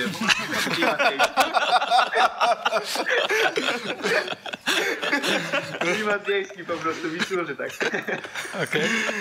Słowianki czy latynoski? Eee... Kurczę, ciężko powiedzieć. Latynoski. Wiktoria Gąsiewska czy Julia Wieniawa? Eee... Wiktoria Gąsiewska. Największy sportowiec w historii Polski. Eee... Największy? Lewy, lewy. Dla mnie lewy. E, największy Polak? Największy Polak? O kurde. Ciężko powiedzieć. Może Adam Małysz, Adam Małysz chyba tak najbardziej. No i oczywiście też Robert Lewandowski, ale gdzieś tam ten z dzieciństwa najbardziej to Adam Małysz. Okej. Okay. Gej w szatni. Nie mam z tym problemu, czy nie do zaakceptowania? Myślę, że jakby mi nie wchodzi w drogę gdzieś tam nie, ten, to nie mam z tym problemu. Po prostu e, ka każdy wybiera to, co chce i dla mnie to jest normalne i po prostu byleby mi nie wchodzi w drogę, tak i tyle. Rozmowy motywacyjne z kibicami. Patologia czy podwójna mobilizacja? Nie, ja tam gdzieś na przykład ja sam mam y, jakiś tam w miarę kibice mnie też zawsze lubią, bo gdzieś tam w walczach jestem, często gdzieś tam rozmawiam po prostu, nie, nie, nie wiadomo, nie, nie, nie z jakimiś yy, choliganką, tylko też z zwykłymi kibicami, gdzieś tam lubię to, to, to i, i zawsze to motywacja dla mnie. E, il, Ile meczów ekstraklasy oglądasz w weekend? Ja różnie, czasem się zdarza, że wszystkie oglądam po prostu, a znaczy no zależy też jak mamy mecz, no to wiadomo, że ten dzień, yy, no jak mamy ostatni mecz, no to, to oglądam, ale jak mamy pierwszy, akurat nawet w sobotę, no to gdzieś już później jakoś się tak nie chce, zależy też od wyniku, jak, jak to się potoczy, bo jak my gramy, no to wiadomo, gdzieś w tym autobusie, czy, czy nawet jak wracamy tu z Grodziska, no to wesoło jest i po prostu szkoda czasu chyba na, to- na takie, żeby to oglądnąć. No szkoda czasu oglądać Ekstraklasę, to prawda. Nie, nie, nie, nie, ja nie jestem tego zdania. A którą drużynę ci najchętniej, na najlepiej ogląda? Ekstraklasy? Mhm. E, Bardzo mi się podoba Raków w tym sezonie. Tak samo, no wiadomo, to Legia, Legia fajnie gra, ale Raków mi się podoba. Podoba mi się ten sezon ich wykonaniu, gdzieś tam, gdzieś tam ten styl też mi się trenera. Oj? bateria. Tenera Papszuna też y, styl mi się podoba, gry i, i myślę, że chyba Raków. Najpopularniejsza piosenka w szatni Warty. A dużo jest, no to, to u nas na kulisach to widać, że zmiany, bo są greckie, różnie jest. Ostatnio, ostatnio była jakaś, y, nie wiem, czy to z Indii, czy coś takiego, tańczyliśmy to, nie?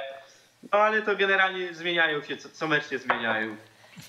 Największa zjebka, jaką usłyszałeś w życiu. Przezjewka?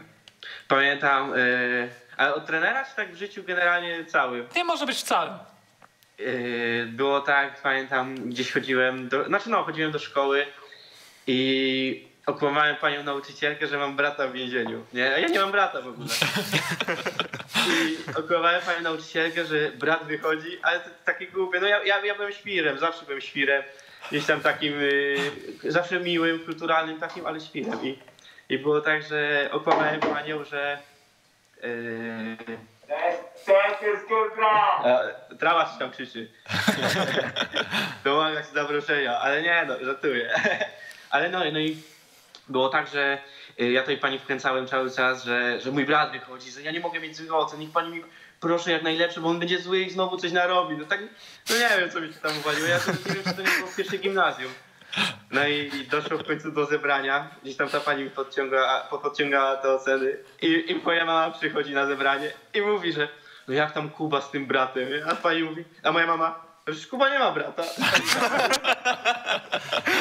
No, i, I wtedy pamiętam, jak mama wróciła po zebraniu do domu. No, komputera chyba dwa miesiące nie miałem.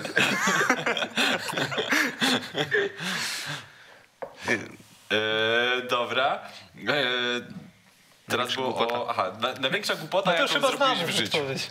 Tak, to już, to już znamy w sumie. Chyba, że jeszcze masz coś w zanadrzu. Nie, no, no, zawsze w szkole to dużo odwalałem, to lepiej nie, nie, nie będę, reklamy sobie robił. Okej, to komu zawdzięczasz najwięcej, jeśli chodzi o twoją karierę? E, Dużo na pewno rodzinie, narzeczonej, ale, ale generalnie tak uważam, że sobie. Ja byłem taki zawsze nieustępliwy w czymś, że jak mi nie wychodziło, to i tak zawsze wierzyłem w to, że w końcu mi wyjdzie. Tak samo nigdy nie zwątpiłem w to, że wrócę do tej ekstraklasy. Gdzieś tam spadałem szczeble niżej czy coś, ale nigdy nie zwątpiłem w to, że tu wrócę i, i, i że będę grał chociaż taki y, 90% sezonu. E, Nigdy w to nie, i zawsze, zawsze wierzyłem, chociaż było ciężko, e, właśnie tak jak mówię, że spadłem z Bytowią, Polonią Bytom, to jakoś zawsze, zawsze taki byłem, że nawet jak byłem rezerwowym czy coś, że taki, za, tak, że waliłem sobie przy stół, że powiem i tak, i tak tam dojdę, i tak tam, i tak tam zagram, choćbym nie wiem, choćbym nie wiadomo co miał zrobić, ale i tak tam będę. E, Postać w piłce, która najbardziej znalazła ci za skórę. Nie wiem, chyba nie mam takiej. Ostatnio mi trochę przebiegł po ręce. Nie, nie wiem czy specjalnie, czy nie, ale, ale nie, nie, no nie. Było, E, było. Chyba nie mam takiej, nie mam takiej. Mówisz o jebłachu oczywiście. No tak, tak, no, taki to jakiś lat mam, ale, ale nie, no to niespecjalnie raczej, więc... więc A ty też tam spoko. oddawałeś trochę. No, spokojnie. Który kolega z drużyny napisałby najciekawszą autobiografię? Myślę, że no trała, trała. Jako piłkarz to, to trała zdecydowanie. Myślę, że, że, że trała. Yy, ale, ale taki poza sportowo myślę, że Michał Jakubowski i jego biznesy. To ja myślę, że to jest najciekawsza by była. Zawsze miał web do interesów? No, tak, tak. Ja myślę, że musicie go kiedyś zapytać. Człowiek biznesmen. Ale przebija twoje AliExpress? O, myślę, że tak. Myślę, że tak. Okej. Ym, Kto z szatni warty najlepiej poradzi sobie po karierze? Yy, no, myślę, że Trała i Jakubowski właśnie, Michał. Myślę, że oni dwaj. Mhm. A kogo z szatni wysłałbyś e, do quizu o starych Słowakach? O starych Słowakach? Yy, chyba bramkarza Lisa. On by się nadał, tam by poopowiadał trochę. Okej. Kuba, no, tak przeglądałem, e, co się na czacie pisze podczas naszej rozmowy i tak wiele pozytywnych reakcji to chyba jeszcze nie było w naszym programie. A dziękuję bardzo, dziękuję bardzo. Także dziękujemy serdecznie, oby uśmiech ci nie schodził z twarzy. Ja też dziękuję bardzo i do zobaczenia mam nadzieję jeszcze kiedyś. Spoko, zapraszamy zobaczenia. jak najczęściej, bo miło się ciebie słucha. W ogóle jak masz poniedziałki wolne, to może... Łukasz Trałka To mogę przyjeżdżał. badać w sumie, no to tam. Wiesz, tam w Warcie podobno jakichś kokosów nie macie. Tutaj też jest tak średnio, ale... Ale więcej niż za, więcej niż za zegarek. Dobra, to w kontakcie ustalimy. Tak jest, dzięki wielkie, do zobaczenia, do usłyszenia. Jutro kibicujcie Warcie. Okej, dzięki serdeczne. Jakub Kuzdra, Warta Poznań. Był naszym y, gościem. Jakiś komentarz? Zaraża pozytywną energią, zdecydowanie. Tak jest. E, Dobra, zobaczmy sobie jeszcze nasze nominacje do 11. Już niestety nie można głosować, bo już y, zostało to wszystko rozstrzygnięte i e, później wam to opublikujemy, no ale, e, no ale musimy, znaczy nie musimy, możemy z obowiązku, nie, no, nieważne, pokazać. Artur Boruc, Dominik Ładun, Łukasz Chroszo wśród bramkarzy i tak Roki wspomniał, dzisiaj taktyka 3-5, nie 2, nie 3-6-1. 3-6-1 Można tak powiedzieć. Co? 3-6-1. Nie, Kto tak gram, gra? gram, gram, nie, gram, Raków tak, tak gra. gram 3-4-2-1 tak naprawdę. Okej. 3, 4, 2, 1. No, No to czyli 3, 6, 1, zależy. jak- jeden, trzy, cztery. W ogóle, jeśli, jeśli mogę coś powiedzieć, to bardzo mnie zdziwiła ta zmiana w bramce Krakowi. W ogóle to było takie, trochę chyba Michał Probierz strzelił całemu klubowi w stopę, bo wydaje mi się, że na meczu z Legią akurat Karol Niemczycki, który jest chyba największym kapitanem teraz Krakowi, to mógł się pokazać z takiej dobrej strony i pewnie wiele osób chciało obejrzeć na takim tle. Przecież zero E, był. A no tak, ale no wiadomo, że wyszło na to, że nie napracował się, ale myślę, że wiele osób chciałoby go zobaczyć na takim tle, jeśli chodzi o y, skautów i zainteresowanie innych klubów, a tak trochę, no nie wiem z czego wynika Myślę, że przesadzasz. No ja myślę, Nie że no, Chroszczo tak- zagrał ok.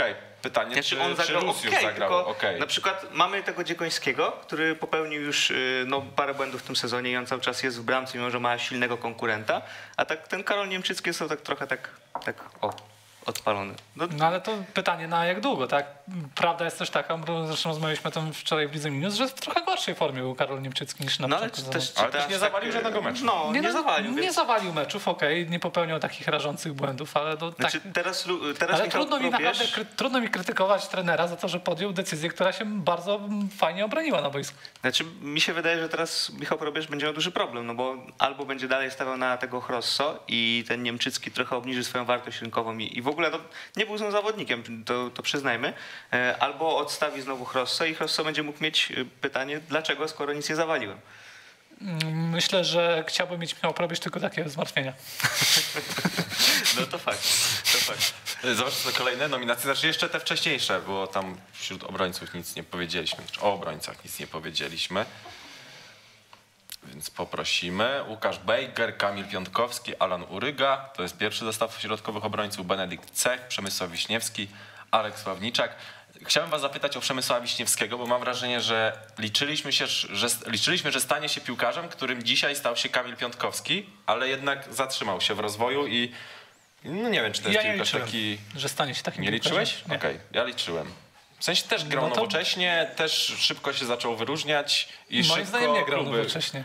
kluby Moim zaczęły e, interesować. Przemysław Wiśniewski wzbudzał zainteresowanie zachodnich klubów tylko ze względu na swoje parametry fizyczne i, i szybkość, Mhm. a nie ze względu na to, jak gra w piłkę, bo w piłkę gra słabo, co było dość wyraźnie widać, kiedy był wystawiany przez Marcina Brosza na prawej obronie w systemie z czwórką obrońców.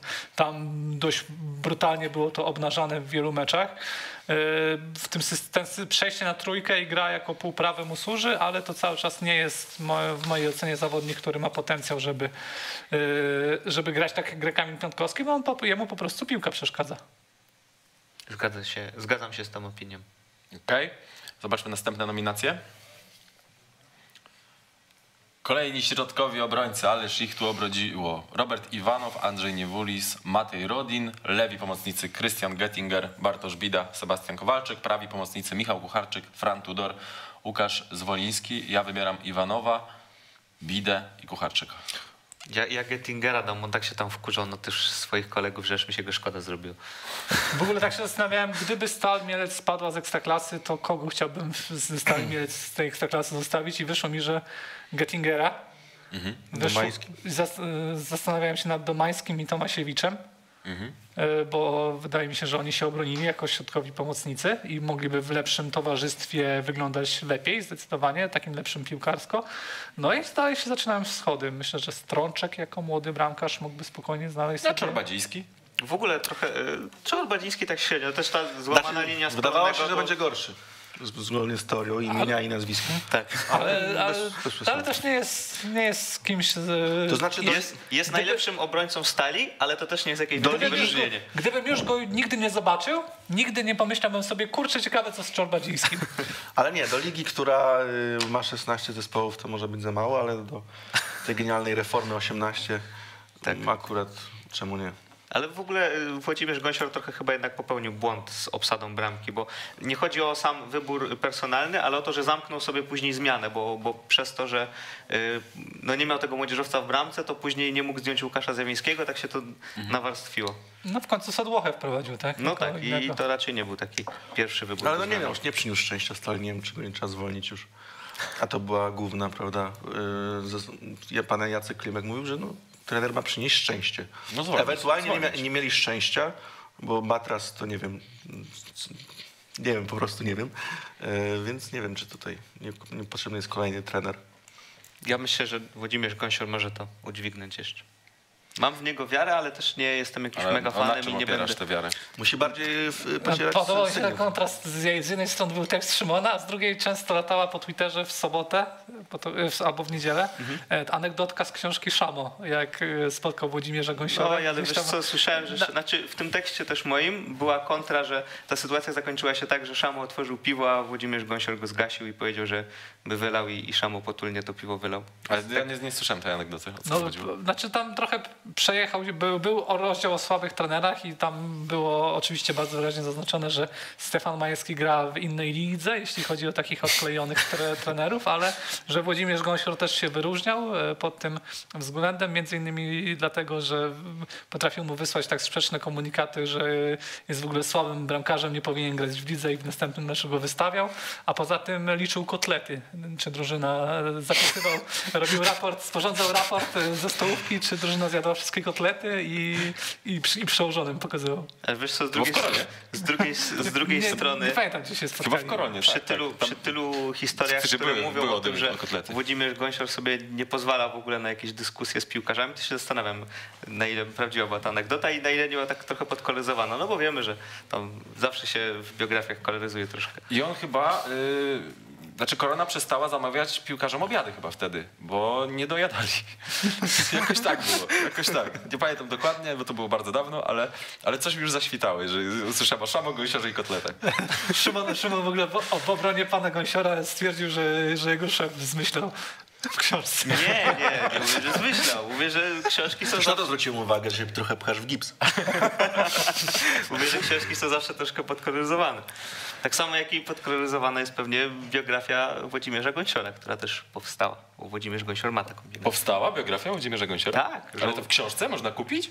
Tak, żołnierz y, ze stali się nazywa. No, może, możesz się śmiać, ale Włodzimierz Gąsior to jest trener, który ma chyba 8 awansów wywalczonych, y, w tym kilka do ekstraklasy, ponad 300 meczów w lidze i był bardzo blisko wyjazdu na mundial, więc myślę, że ma o czym opowiadać. Nie no, tego nie neguję. No, No, ale- to oczywiście, ale zdziwiłem No się też po się zaskoczyłem. To chyba matras sprzedawał. Mateusz? No, niestety nie. Księgarnia taka. Dobra, zobaczmy jeszcze kolejne nominacje.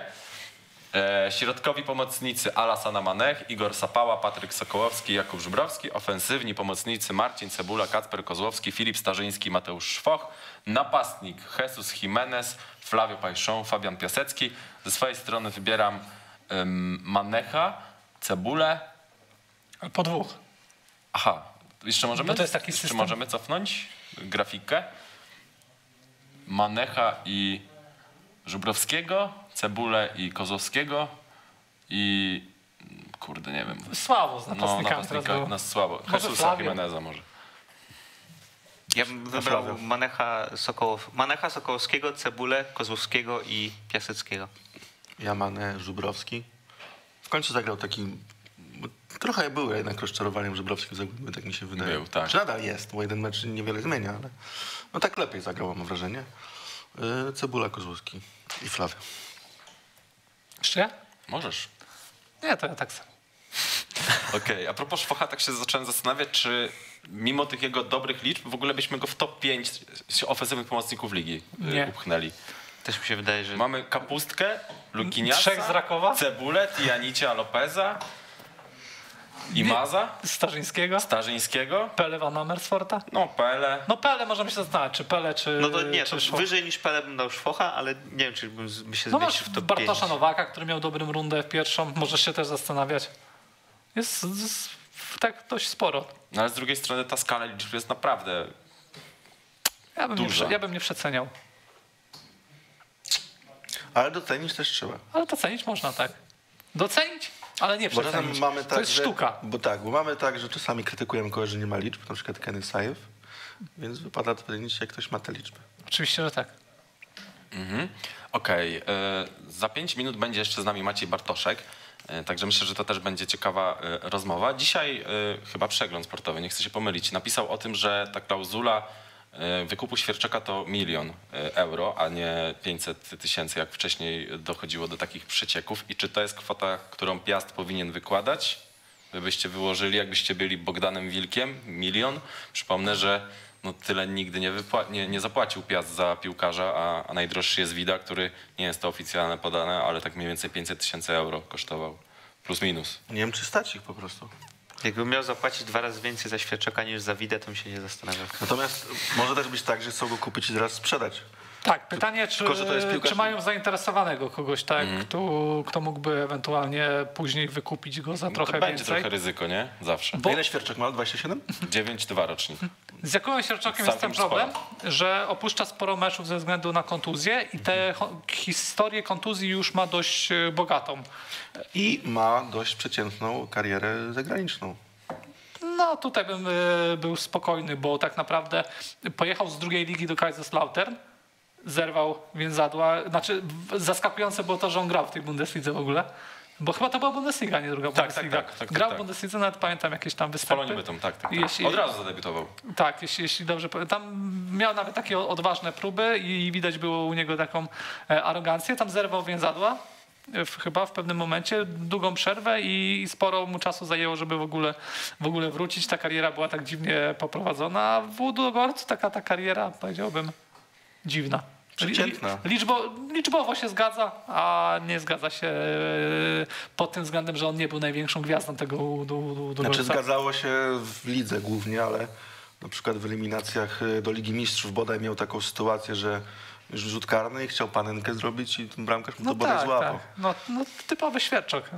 Ale tak wracając do jego ceny, to nie wydaje mi się, znaczy nie wydaje mi się, żeby Piasta było na niego nie stać. W sensie, no te kluby jednak sporo zarabiają. Jak Piast skończy na podium, czy w okolicach podium, to pewnie No sporo... musiałby dostać te premie Tak, Piast no. za, za awans do europejskich pucharów, żeby to się... Więc Dlatego puchar- pewnie szkoda też Pucharu Polski, bo za wygranie Pucharu Mhm. Polski jest pięć baniek. No dobra, ale za ile możemy go sprzedać? No Ja nie wierzę, że ktoś da więcej niż 2 Ale nawet miliony nie chodzi o to, że no sprzedać, za piłkarza, który Półtora często się max, ko- moim ko- zdaniem. kontuzjuje i ma średnią karierę zagraniczną. A nawet zatrzymać. Ja myślę, że warto włożyć milion i go zatrzymać. No tak, nie jest to jakaś mega wygórowana cena. My tak troszkę zastanawiam się, czemu często polskich klubów nie stać na, takie, na takich piłkarzy, a z drugiej strony wydają dużo pieniędzy na takich słabych Na, zawodników. na, na takich tu i teraz, tak? Mhm. Fajna była ta dyskusja dotycząca Damiana Boche, Bochara przed, yy, Mhm. przed sezonem. Czy No przecież to skandal, że on Lego nie wziął. No zdaniem. tak, bo Alek wolał zapłacić za Sykorę, dlatego że być może, być może Tak. to mogło się zwrócić, że jeszcze ktoś by tego Sykorę wyciągnął.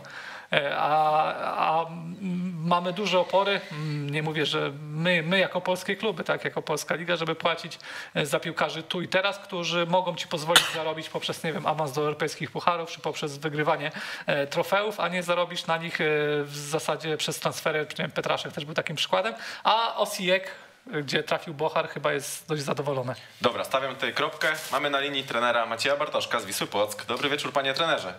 Dobry wieczór Państwu, witam. Panie trenerze, pan to chyba głodny pracy bardzo, skoro pan na sześć kolejek przyjął ofertę z Wisły Płock. Po co panu praca na sześć kolejek? A skąd Pan wie, że to jest projekt? No, ma pan kontrakt do końca sezonu, wydaje się.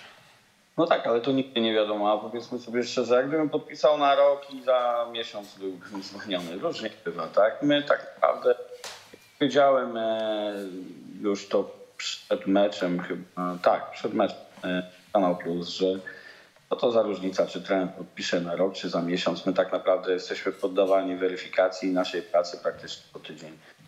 No, także tak to wygląda. Ja, ale tak, ja na pewno wolę pracować niż, niż, niż siedzieć w domu, bo E, no na pewno gorzej znoszę e, e, taką sytuację. Mhm. A z Wisłą Płock toczyły się rozmowy o tym, żeby pan też na przyszły sezon trenował te drużyny, czy, czy jednak nie ma takiego tematu póki co? No bo e, też żadną tajemnicą jest fakt, że Wisła Płock y, bada ten rynek trenerów i, i szuka też innych opcji, choćby z Jerzym Brzęczkiem prowadzi jakieś rozmowy.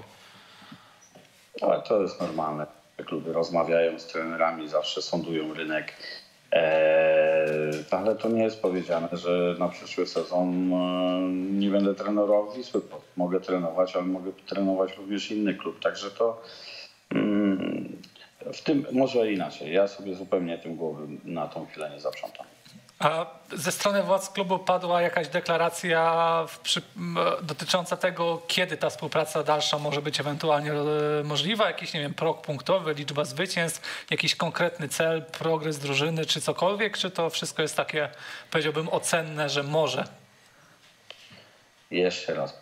Umówiliśmy się na pewne zadanie, na to, co jest do wykonania w tym momencie i my się wtedy w, tej, w tym momencie skupiamy. Jak będzie wyglądała kwestia dalszej naszej współpracy, to przyjdzie na to czas, przyjdzie na to moment i wtedy będziemy e, się zastanawiali nad tym.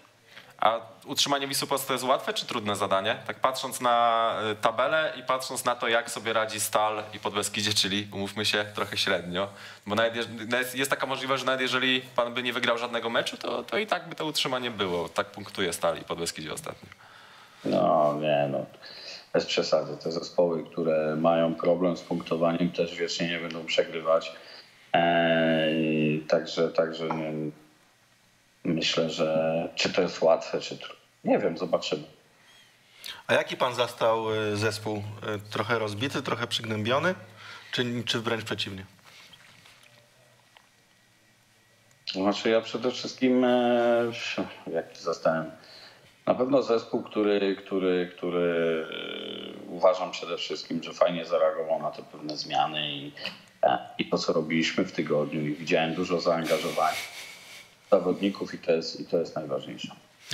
A zakładając, że y, pan zostanie na przyszły sezon, to czym pana Wisła Płock urzekła jako taki projekt długofalowy, długoterminowy, który e, no, chciałby pan poprowadzić e, w, przez dłuższy okres?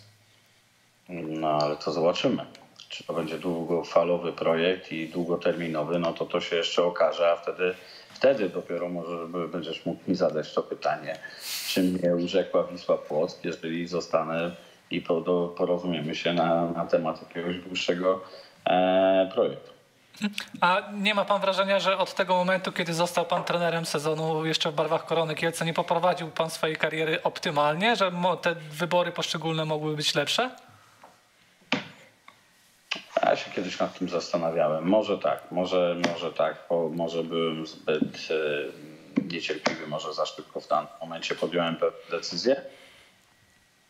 Może tak było, ale to co było już, e, to już było. Na pewno, na pewno zebrałem dodatkowe doświadczenie, jeżeli chodzi o to. O swoją pracę to na pewno. To skoro mówimy o prowadzeniu kariery, to y, jak pan się poczuł, kiedy korona tak szybko zrezygnowała z tych ustaleń, które jeszcze wcześniej tak y, ochoczo ogłaszała względem pana osoby? No ale to ja już powiedziałem, to jest, no, jest niestety wpisane w nas zawód, jak ja się czułem, jak ja się poczułem. Nie, no nie wiem, nie, nie chciałbym na pewno o tym rozmawiać. To paradoksalnie może nawet lepiej, że pan jest teraz na sześć kolejek ogłoszony oficjalnie, no bo wtedy był pan ogłoszony jako taki długofalowy projekt, wzmocniona pozycja, awans na dyrektora sportowego także i wyszło jak wyszło, po trzech kolejkach zwolnienie. Także to, co się mówi często oficjalnie, pan przeżył na własnej skórze, że często nie ma żadnego znaczenia. No, ja wam powiedziałem właśnie na wstępie, że jesteśmy tak naprawdę cały czas gdzieś tam weryfikowani. Dobrze wiecie również, że wielu trenerów e, przysłowiowych na lata szybko było zwalnianych i trenerzy to gdzieś tam nawet podpisują dłuższe kontrakty, nie zawsze je wypełniali, także tak mogę na to. A ta korona to trochę największa zadra, jeśli chodzi o pana karierę, bo dwa razy pan tam był pożegnany w dziwnych okolicznościach. Czy Zadra? No, na pewno można powiedzieć w pewnym miejscu, w momencie na pewno trudna miłość, z której bardzo skutecznie mnie chyba wyleczono. A czuł pan się tam trochę podkopywany przez pewne osoby, czy nie? Przemilczę może. Coś, chyba jakaś klauzura jest. Ale to klauzula już chyba wygasła, skoro nowa praca. To jest pytanie, czy stwierdzenie, czy jak? Znaczy może się pan odnieść, jak pan chce. Nie, nie, no ja nie, no nie chcę, nie chcę na ten temat dyskutować. Może to, to zresztą chyba nie mieliśmy rozmawiać o koronie dzisiaj, prawda? To ostatnie pytanie o koronę. E, Czy te ambicje Mieliśmy nie rozmawiać o Dobra, no to, no to nie będę pytał w takim razie o koronę. Co można zmienić przez sześć kolejek w drużynie piłkarskiej? Jeżeli pytacie, co można zmienić, trzeba było obejrzeć mecz. No było tam, wydaje mi się, trochę więcej takiej walki po prostu. Tylko? Ciężko porównywać, no bo nie wiem, czy gra się jakoś szczególnie różniła. Znaczy no personalnie to chyba największą różnicą jest to, że nie wziął pan do kadry meczowej nawet Duszana Lagatora, który u poprzedniego trenera był podstawowym zawodnikiem. I, I i przywrócił pan Georgiego Merebaszwilego. Nie, no panowie, no przecież nie, nie, nie, nie skupiajmy się tu w tym momencie na personaliach. Teraz Lak nie grał, za, za, tydzień może grać. To, to nie, ma, nie ma znaczenia. Nie skupiajmy się na, na, na, na personaliach, bo to nie o to chodzi. E, Ja uważam, że e, zespół Wisły w tym meczu to e, już samych akcji ofensywnych, mówiąc już o sprintach wykonanych przez zawodników, nie mówiąc już e, o jakby samych strzałach oddanych na bramkę, czy strzeleniu dwóch bramek w meczu, czy odwróceniu w ogóle wyniku z 0-2 na 2-0, na 2-2, no to, no to powiedzmy sobie szczerze, no według mnie jest e, jak na pierwszy mecz to już jest bardzo wygodne. A to nie jest trochę kamyk do ogródka piłkarzy, że za poprzedniego trenera, y, których podejrzewam byli przygotowani dokładnie tak samo, biegali oni trochę mniej niż za, pod pańską wodzą?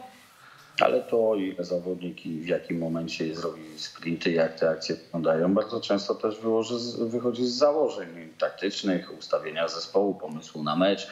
E, No nie chciałbym się na ten temat wypowiadać, ale ja powiedziałem tylko o faktach, tak? Bo mm, odpowiadając na, na, na, na, wasze py, pytanie, co można zmienić, no wydaje mi się, że zespół wyglądał w tym meczu inaczej i na tym mi zależało i e, no zobaczymy co będzie dalej. No, no, no na, pewno, na pewno uważam, że mm, pewna zmiana i progres w poczynaniach z drużyny i sposobu gry była widoczna. Tyle. Okej, panie... No ale też trudno uciec od tego, że koniec końców dość szczęśliwie Wisła Płock wróciła do gry, bo gdyby nie było błąd młodego bramkarza Jagiellonii Białystok, to pewnie skończyłoby się na tym, żebyście ten mecz przegrali, choć Jagiellonia nie grała nic wielkiego. I gdy pan mówi o zmianie, to no, ja się trochę chyba nie zgodzę, bo jednak to cały czas było bazowanie na stałych fragmentach gry, które Mateusz Szwok bije bardzo dobrze i na indywidualnych zrywach akurat w tym meczu Dawid Kocyła był takim piłkarzem, który wyróżniał się najczęściej. To też zdarzało się za e, kadencji poprzedniego trenera. Okej. Każdy może mieć swoje zdanie na temat tego meczu. No, ja wiem, co widzę w liczbach, w statystykach. E, Tak, no, a poza tym, e, poza tym wiadomo, no, to nie jest jakby zmiana zupełnie nie wiadomo jaka. Ja mówię po prostu o tym, że pewne elementy zostały poprawione. Było ich więcej. Zespół dochodził do akcji. e, W pierwszej połowie na brakło pokoju, dokładności e, w tym ostatnim podaniu. Ale w drugiej połowie już wyglądało to inaczej. Na pewno te, że e, ta bramka powstała w kiedy e, młody bramkarz popełnił błąd, tak źle obliczył od piłki, e, odbiła się po słupku wewnętrznie i wpadła do bramki. No ale my też stracili w słupku e, e, drugą bramkę po stałym fragmencie.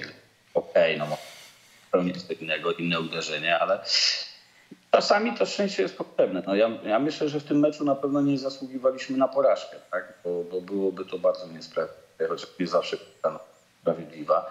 Mm, e, ale, ale mm, dla mnie chwała za to, jak się zespół podniósł. Ta bramka pierwsza na pewno e, dała dodatkowej motywacji. No I najważniejsze jest to, że do ostatnich sekund spotkania zespół dążył do tego, żeby odnieść korzystne wyniki. To są dla mnie bardzo ważne rzeczy. Mhm. No przynajmniej pan nie musi się już denerwować na sędziów, bo tutaj mamy wari. E, bramki nieprawidłowe można wychwycić.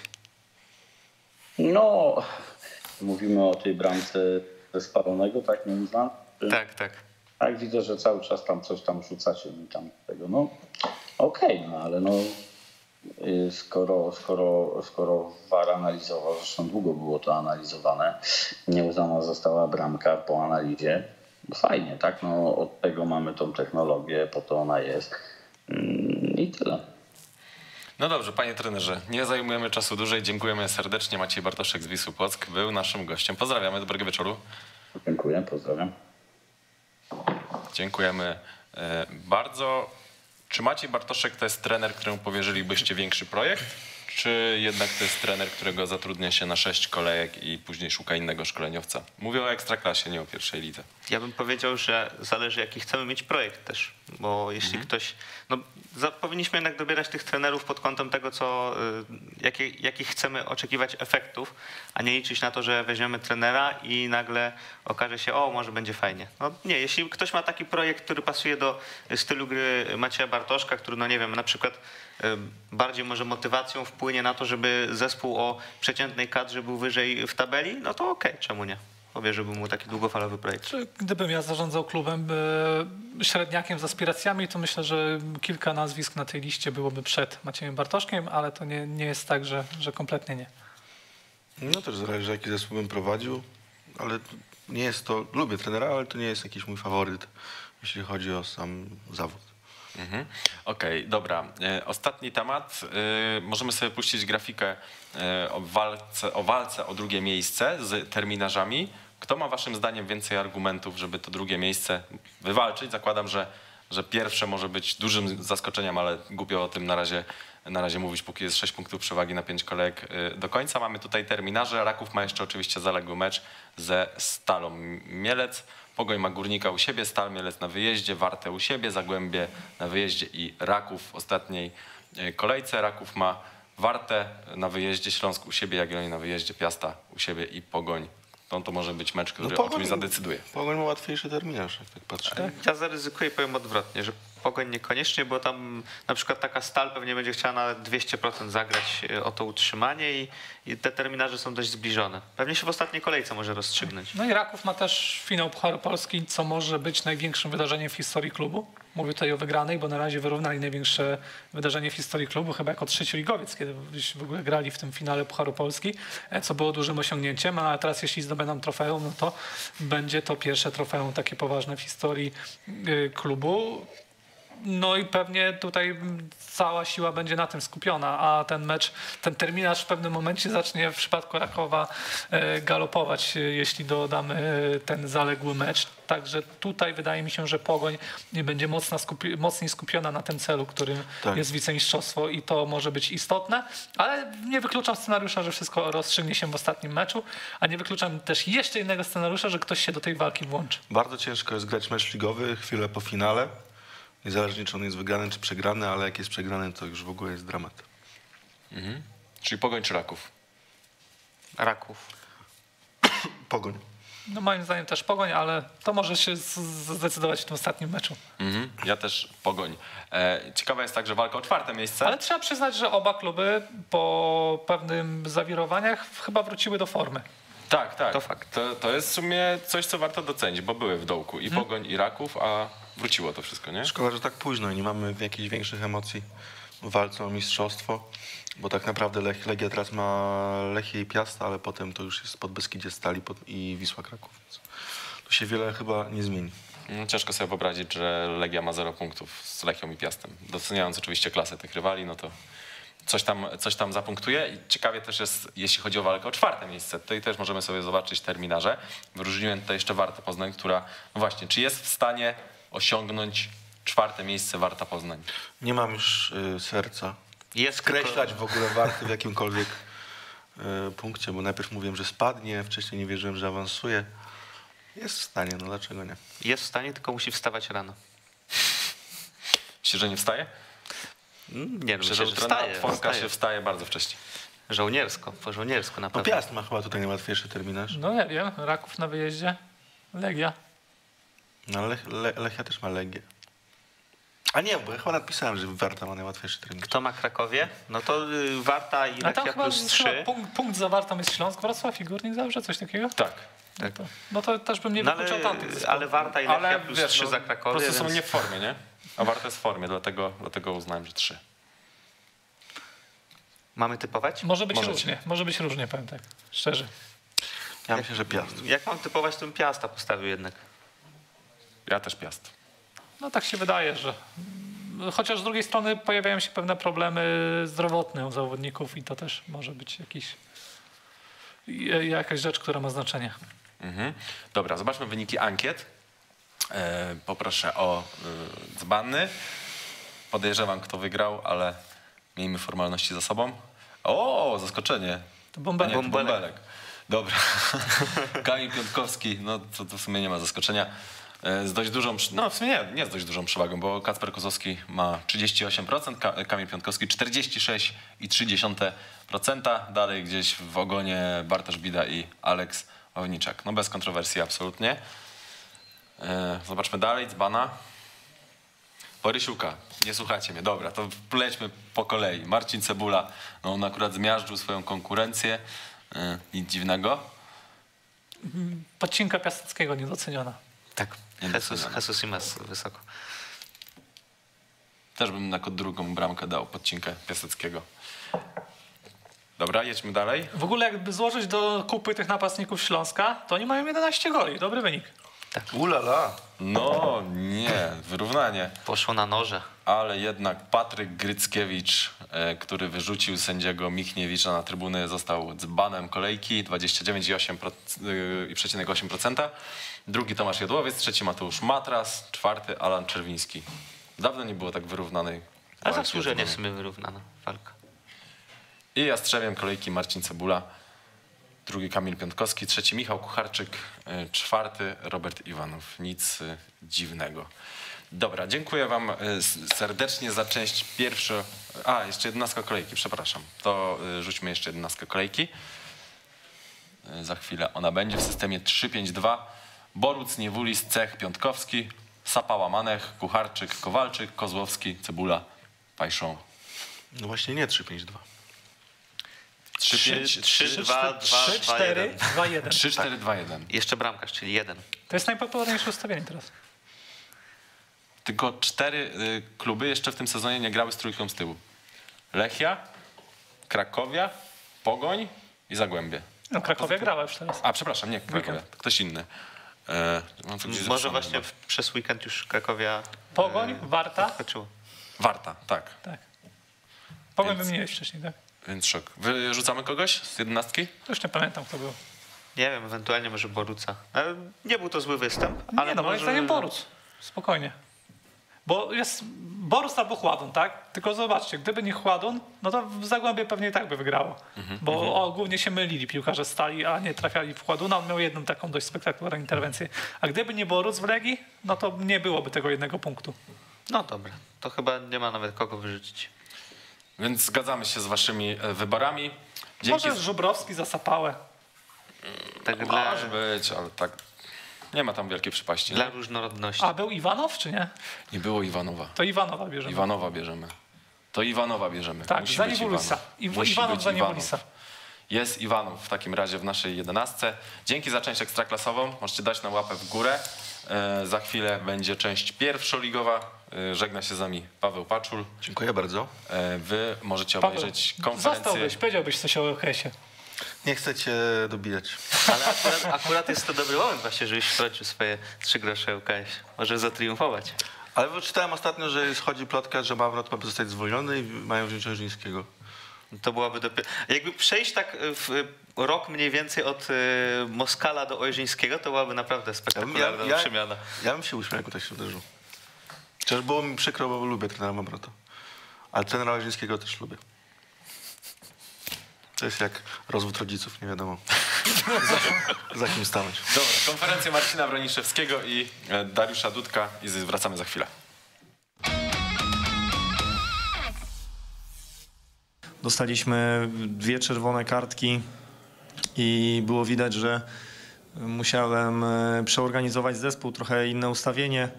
Zagraliśmy najpierw inaczej, bo pierwsza czerwona kartka, później druga, więc na szybko skorygowaliśmy to ustęp, ustawienie. Widzew y, ma bardzo dobrych piłkarzy wśród swojej, y, swojego klubu i na pewno nam było bardzo trudno, szczególnie kiedy dostaliśmy y, bramkę na 2-1 się zorganizować. Tak jak mówię, zachowaliśmy spokój, zrobiliśmy zmiany i te zmiany też dały efekt w postaci chociażby karnego, bo Rafa y, zrobił karny, Pietka wykorzystał, więc y, no cieszę się, że w tak trudnym momencie szliśmy na 3-1 i, i mieliśmy mimo wszystko ten, ten mecz y, pod kontrolą. Będąc trenerem takiego zespołu, jestem dumny z tego, że y, już chyba 14 kolejka bez, bez przegranej, więc cieszę się i, i jestem dumny, szczęśliwy, że mogę pracować w tym klubie. Dziękuję. Trudno komentować e, takie spotkania, jak się przegrywa 3-1. e, Szczególnie do przerwy, w moim odczuciu, e, tak na szybko, bez jakiejś głębszej analizy. Nie graliśmy dobrze przede wszystkim, bo mocna, zdecydowana, szczególnie w takiej bezpośredniej walce Sandecja nas zdominowała. W moim odczuciu około 30 minuty zaczęliśmy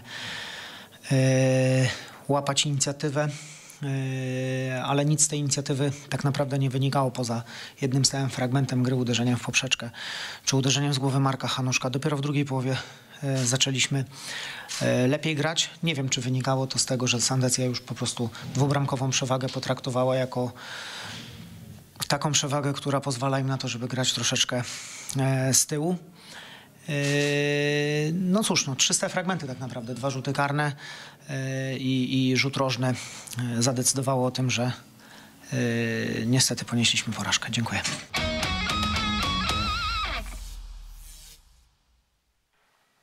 Porozmawialiśmy sobie o Superlidze, więc teraz o super, super, super lidze będziemy rozmawiać, czyli o lidze pierwszej. Jest z nami Łukasz Grabowski z Przeglądu Sportowego. Cześć, dzień dobry, witam wszystkich. E, Witamy cię serdecznie. E, Dobrze się składa, bo akurat masz dużą wiedzę na tematy, o których będziemy rozmawiać, czyli To się zaraz okaże. To się zaraz okaże, ale tak zakładam, bo piszesz o tych klubach. Widzew i zwolnienie trenera Dobiego i zatrudnienie trenera Broniszewskiego, czy zmiana roli trenera Broniszewskiego.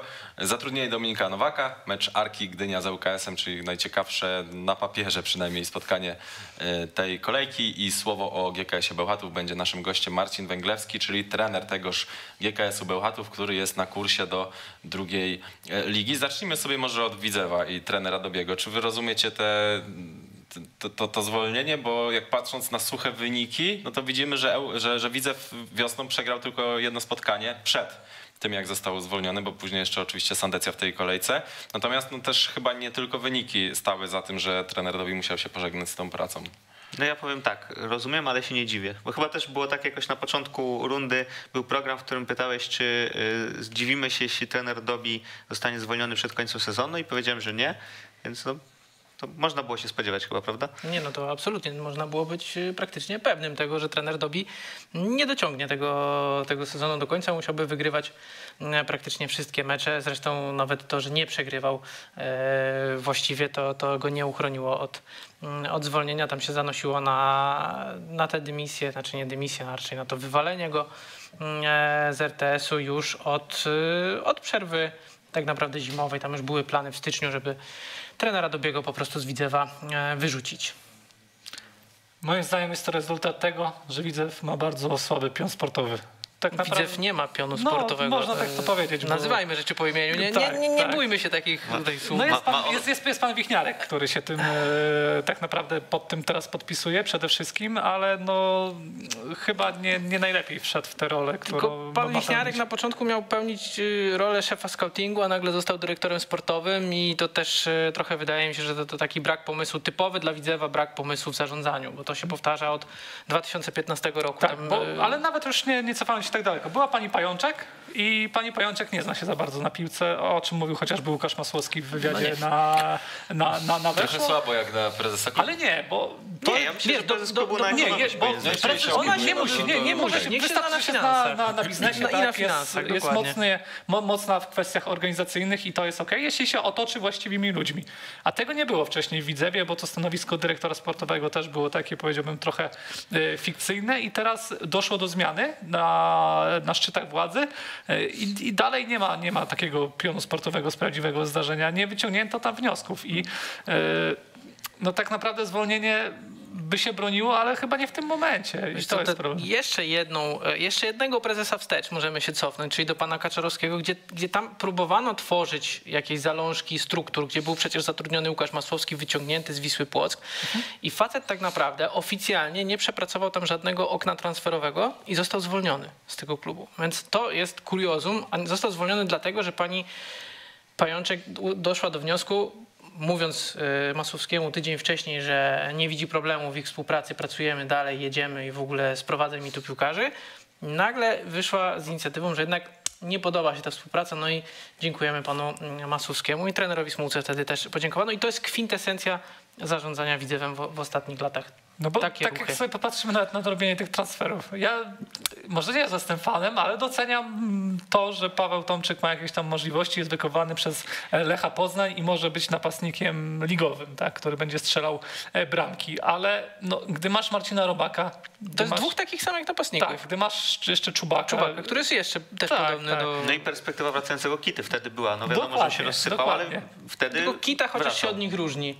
E, więc to jest jakiś, jakiś taki plusik, że, że jego bym tutaj do tej trójki nie, nie, nie mieszał. ściągasz tego Tomczyka, potem holujesz tego Tomczyka, choć niekoniecznie może zasługuje na to, żeby, żeby być w składzie, strzelać karne i, i, i robić to, to wszystko. Jest szereg niezrozumiałych decyzji przy e, budowaniu kadry tak naprawdę tego klubu, a to wszystko wynika z tej słabości w strukturach, a nie e, nawet niekoniecznie ze słabości trenera Dobiego, chociaż też jest to rozczarowaniem, jak Widzew wyglądał, bo no, Górnik Polkowice, y, trenera Dobiego, różne rzeczy można było o tej drużynie mówić, ale on grał bardzo ofensywnie i też liczyłem, że tro, trochę zaszczepi trener Dobi, y, który bazuje może nie na taktyce jakoś super, ale na charyzmie właśnie, na, y, na chęci gry ofensywnej, a tutaj widzę, widzę był taki kompletnie bezbarwny. Ale Właśnie często, ciężko, często się ciężko wracało do tego właśnie, że nie gra Widzew ofensywnie, bo też trener Dobi mówił o tym na początku, a, a wyszło z tego taka proza życia, skupił się na defensywce, skupił się na topornym stylu, który jest Ale powiedzmy sobie szczerze, że ciężko jest e, wdrożyć swoją charyzmę, jeśli co chwilę się słyszy, że zaraz się wyleci z roboty. No szatnia to czyta, szatnia też przecież podkopuje, gdzieś trenera takie głosy też się pojawiały, że e, ma swoich przeciwników w szatni. No asystent go podkopuje, więc tak naprawdę z każdej strony był jakiś ostrzał. No, ciężko jest pracować normalnie w takich warunkach. No to raz, a dwa, no to, to, to co Roki powiedziałeś, że e, w Górniku Polkowice to działało, jego charyzma i tak dalej, i tak dalej. No tylko inaczej jak masz piłkarzy z szac- całym szacunkiem Górnika Polkowice, a inaczej jak wchodzi trener Dobi i mówi Marcinowi Robakowi, Mateuszowi Możdżeniowi, Łukaszowi Kosakiewiczowi i tak dalej, i tak dalej. No z nimi rozmawia już na innym poziomie i oni tego poziomu jego motywacji nie kumali. Oni nie współpracowali z nim i tu też się rozbił e, projekt trenera Dobiego. Jeszcze wątek Tomczyka. Bardzo na ten transfer nalegały dwie osoby. E, trener Dobi i, i, i pan Wichniarek. Tym, że pan Wichniarek pewnie bardziej. Pan Wichniarek możliwe, że bardziej i tutaj już nie, nie, nie, nie wiem. Wiem, że trener Dobi naprawdę mocno naciskał. Tam się pojawiły w pewnym momencie też e, informacje o tym, że jednak Tomczyk nie przyjdzie do Widzewa, no ale w końcu trener postawił na swoim. I co ciekawe, zarząd wtedy chce, chciał wyrazić takie, mm, e, pokazać zaufanie do trenera, sprowadzając mu zawodnika, którego teraz ani nie wykorzystuje nikt, tak naprawdę trenera też nie ma, więc mamy znowu klasyczny e, błąd w zarządzaniu i słabość pionu sportowego, o czym, o czym wspominałeś wcześniej. Dobra, wrócimy sobie do tematu y, Widzewa, bo mamy na antenie, na linii już trenera GKS-u Bełchatów, pan Marcin Węglewski. Dobry wieczór, panie trenerze. Dobry wieczór Państwu. Gdzie upatrywać nadziei dla GKS-u Bełchatów, bo sytuacja za wesoła nie jest. Z tym, że będziemy strzelać bramki. No, to jest jedyna nadzieja na zdobycie trzech punktów. No, niestety ten prostokąt jest na razie dla nas za mały, nie możemy trafić i, i dlatego mamy takie wyniki.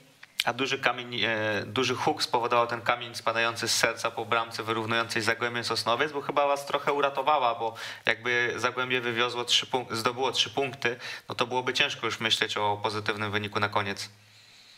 No, los cały czas nam sprzyja, podaje nam jeszcze to, to daje nam to życie i no, faktycznie ta bramka spowodowała, że jesteśmy nadal w grze. Natomiast no, no, ja jestem niezadowolony z pierwszej połowy, dlatego że e, zawodnicy Zagłębia do nich jeszcze nie dotarło, że grają w osłabieniu i próbowali grać e, tak jak na początku meczu, więc ten, to na boisku była otwarta gra i łatwiej było się przydostać pod pole karne Zagłębia. W drugiej połowie no, skorygowali błędy i już było zdecydowanie trudniej. No, niemniej ważna ta bramka i, i trzyma nas cały czas przy życiu. Mhm. Panie y, trenerze, zdawało się, że jesienią, kiedy były te problemy jeszcze bohatowe, to zespół grał tak bardzo charakternie, y, pokazywał taką wolę walki, a wydaje mi się, że teraz wiosną troszkę y, takiego charakteru czasami brakuje. Czy atmosfera w szatni jakoś się popsuła, czy z czego to wynika? Nie zgodzę się z tym, że charakteru nie brakuje i tego nie widać. Mm, Straciliśmy jesienią pięciu podstawowych zawodników i to pięciu, którzy decydowali o grze tego zespołu. E, Zimą mieliśmy mm, problem, żeby mm, nie tyle mm, ten zespół jakby w jakiś sposób mm, uzupełnić, ale, ale przede wszystkim wzmocnić. I, to jest największy problem. Natomiast ja charakteru i e, woli walki nie mogę odmówić temu zespołowi, bo on cały czas, ci chłopcy cały czas e, to udowadniają. No brakuje nam e,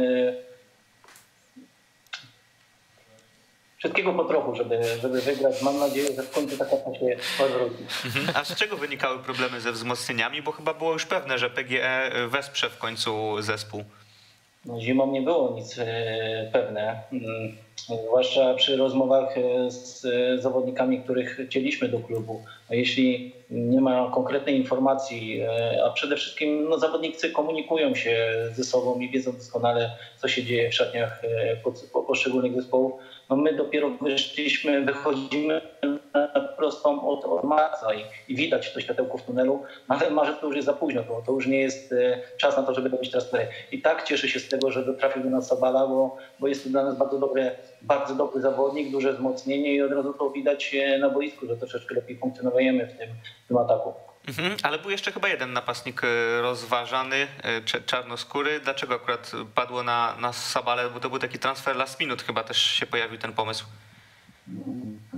No nie, to wynikało przede wszystkim z tego, że mamy ograniczony budżet. Nie mogliśmy sobie pozwolić na to, żeby zakontraktować dwóch zawodników. Wybór padł na Sabale i tak to się wszystko e, toczy. No. Nie, można, nie można mieć, zjeść ciastka i mieć ciastka. No. Mieć ciastko, więc e, no, wybraliśmy Sabale i uważam, że to, to jest dobry ruch. Mhm. Widziałem też, że troszkę odważniej stawiacie na Pro Junior System e, w rundzie wiosennej. Rozumiem, że chcielibyście właśnie teraz i mieć ciastko i zjeść ciastko, czyli utrzymać się i jeszcze zgarnąć te premie. To byłoby to najlepsze rozwiązanie. Od samego początku stawiamy na młodzież. No, spójrzcie na kadrę, jaką mieliśmy jesienią. E, Też było bardzo dużo młodych zawodników, natomiast e, punktowali zawodnicy, którzy byli naszymi wychowankami. Teraz ich nie ma E, i, i no, jest to, no, m, zbieramy mniejszą ilość punktów w meczach i dlatego mm, stawiamy na coraz szerszą grupę. Mam nadzieję, że jedno i drugie mm, zdołamy osiągnąć i i wszystko będzie tak, jak sobie założyliśmy na początku. Mhm. A jak pan myśli, ile punktów potrzeba, żeby się utrzymać w lidze? Nie mam pojęcia. To, co się dzieje w tej lidze, dzisiaj nie odpowiem na to pytanie. Sami widzicie, że jedziemy na UKS, w 86 minucie tracimy y, bramkę z rzutu karnego. Na chwilę UKS jedzie na Resowie i nie oddaje strzału na bramkę. No, y, ta liga jest nieprzewidywalna. Mocniejszy przeciwnik ma problem z teoretycznie słabszym. Ci, co są na papierze, przykład Zagłębia Sosnowiec, walczą o utrzymanie. Na papierze są zespołem, który powinien grać o awans do ekstraklasy, do ekstraklasy a, a bronią się przed spadkiem. A przetrawił pan, już ten mecz z, przetrawił pan już ten mecz z Brookbetem, kiedy zostaliście skrzywdzeni tak naprawdę? Tak, rozmawiałem też e, z panem Marciniakiem. Mm, No, nie mamy wpływu na to. Ja bardzo szybko zamykam sprawy, które, które się gdzieś tam odbyły, bo, bo, bo nie mam na nie wpływu. Muszę się skupić na tym, żeby wygrać następny mecz, e, zaprezentować się tak, żeby zawodnicy e, wiedzieli, jaki mamy plan na mecz i żeby go realizować. No, raz się uda, raz się nie uda. Dochodzi depresja, która, która nam cały czas towarzyszy, bo mamy no niestety taką pasę, która no, jest, jest trudna do, do, do złamania i, i wszyscy o tym wiemy. Jak, jak ją złamiemy, to jestem przekonany, że, że pójdzie to w tym kierunku, w którym wszyscy chcemy. Mhm. A czy gdy patrzy pan na tabelę, to czuje pan może taki trochę e, ból, że te dwa punkty zostały odjęte, bo gdyby nie one, to może bylibyście w deczko lepszej sytuacji niż teraz?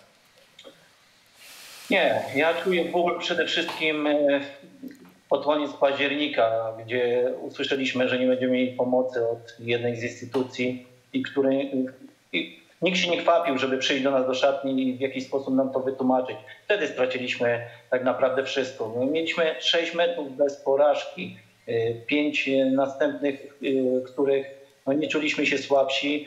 Dwa, y, trzy mecze mieliśmy u siebie. To wszystko wtedy się załamało i to jest pokłosie tego, że w tym miejscu jesteśmy i cały czas się musimy martwić o to, żeby zostać w pierwszej lidze, bo byliśmy rozpędzeni. Wszyscy nas chwalili, zawodnicy nabrali pewności. Wszyscy by prawdopodobnie zostali y, na następną rundę, a ja bym mógł tylko i wyłącznie uzupełnić y, kadrę o lepszych zawodników i dzisiaj byłoby to w innym miejscu. I tu, tu, y, tu mam największe pretensje i tu będę cały czas mówił o tym, że miesiąc październik, koniec października, początek listopada był najważniejszy dla tego klubu. Mhm. Rozumiem, że teraz finansowo wygląda to już tak, że wszystko jest na czas i, i pod tym względem macie spokój. No, wiemy, że do licencji zostaliśmy, zostali spłaceni ludzie, którzy utrzymali się w, tamtym, w tamtej rundzie i, i zawodnicy, którzy mieli e, zeszłoroczne e, zadłużenie, e, które zadłużenie klub musiał spłacić. Natomiast my wszystkiego nie otrzymaliśmy, ale podpisaliśmy ugody, żeby klub nie miał pro- problemów przy licencji. Mamy zapewnienie, że 30 czerwca zostaną wszystkie uregulowane zaległości. Ja przede wszystkim i szatnia wierzę tym ludziom, którzy teraz są w klubie, bo naprawdę e, działają w ten sposób, że, że widać, e, że coś się w tym klubie dzieje pozytywnego, że widać, że wychodzimy powoli na, na prostą. I, to, I my też staraliśmy, staramy się pomóc tym ludziom, żeby, żeby wydźwignąć ten klub z tych tarapatów finansowych, których jest. Okej, panie trenerze, dziękujemy w takim razie serdecznie i powodzenia w tej trudnej walce. Dziękuję, dziękuję, do zobaczenia, do usłyszenia. Marcin Węglewski, trener GKS-u Bełchatów był e, naszym gościem. Dobra, Może pociągniemy jeszcze chwilkę ten temat z tą grafiką, e, z terminarzem drużyn walczących o utrzymania, no dobrze, to poprosimy te żebyśmy, żebyśmy tak nie skakali.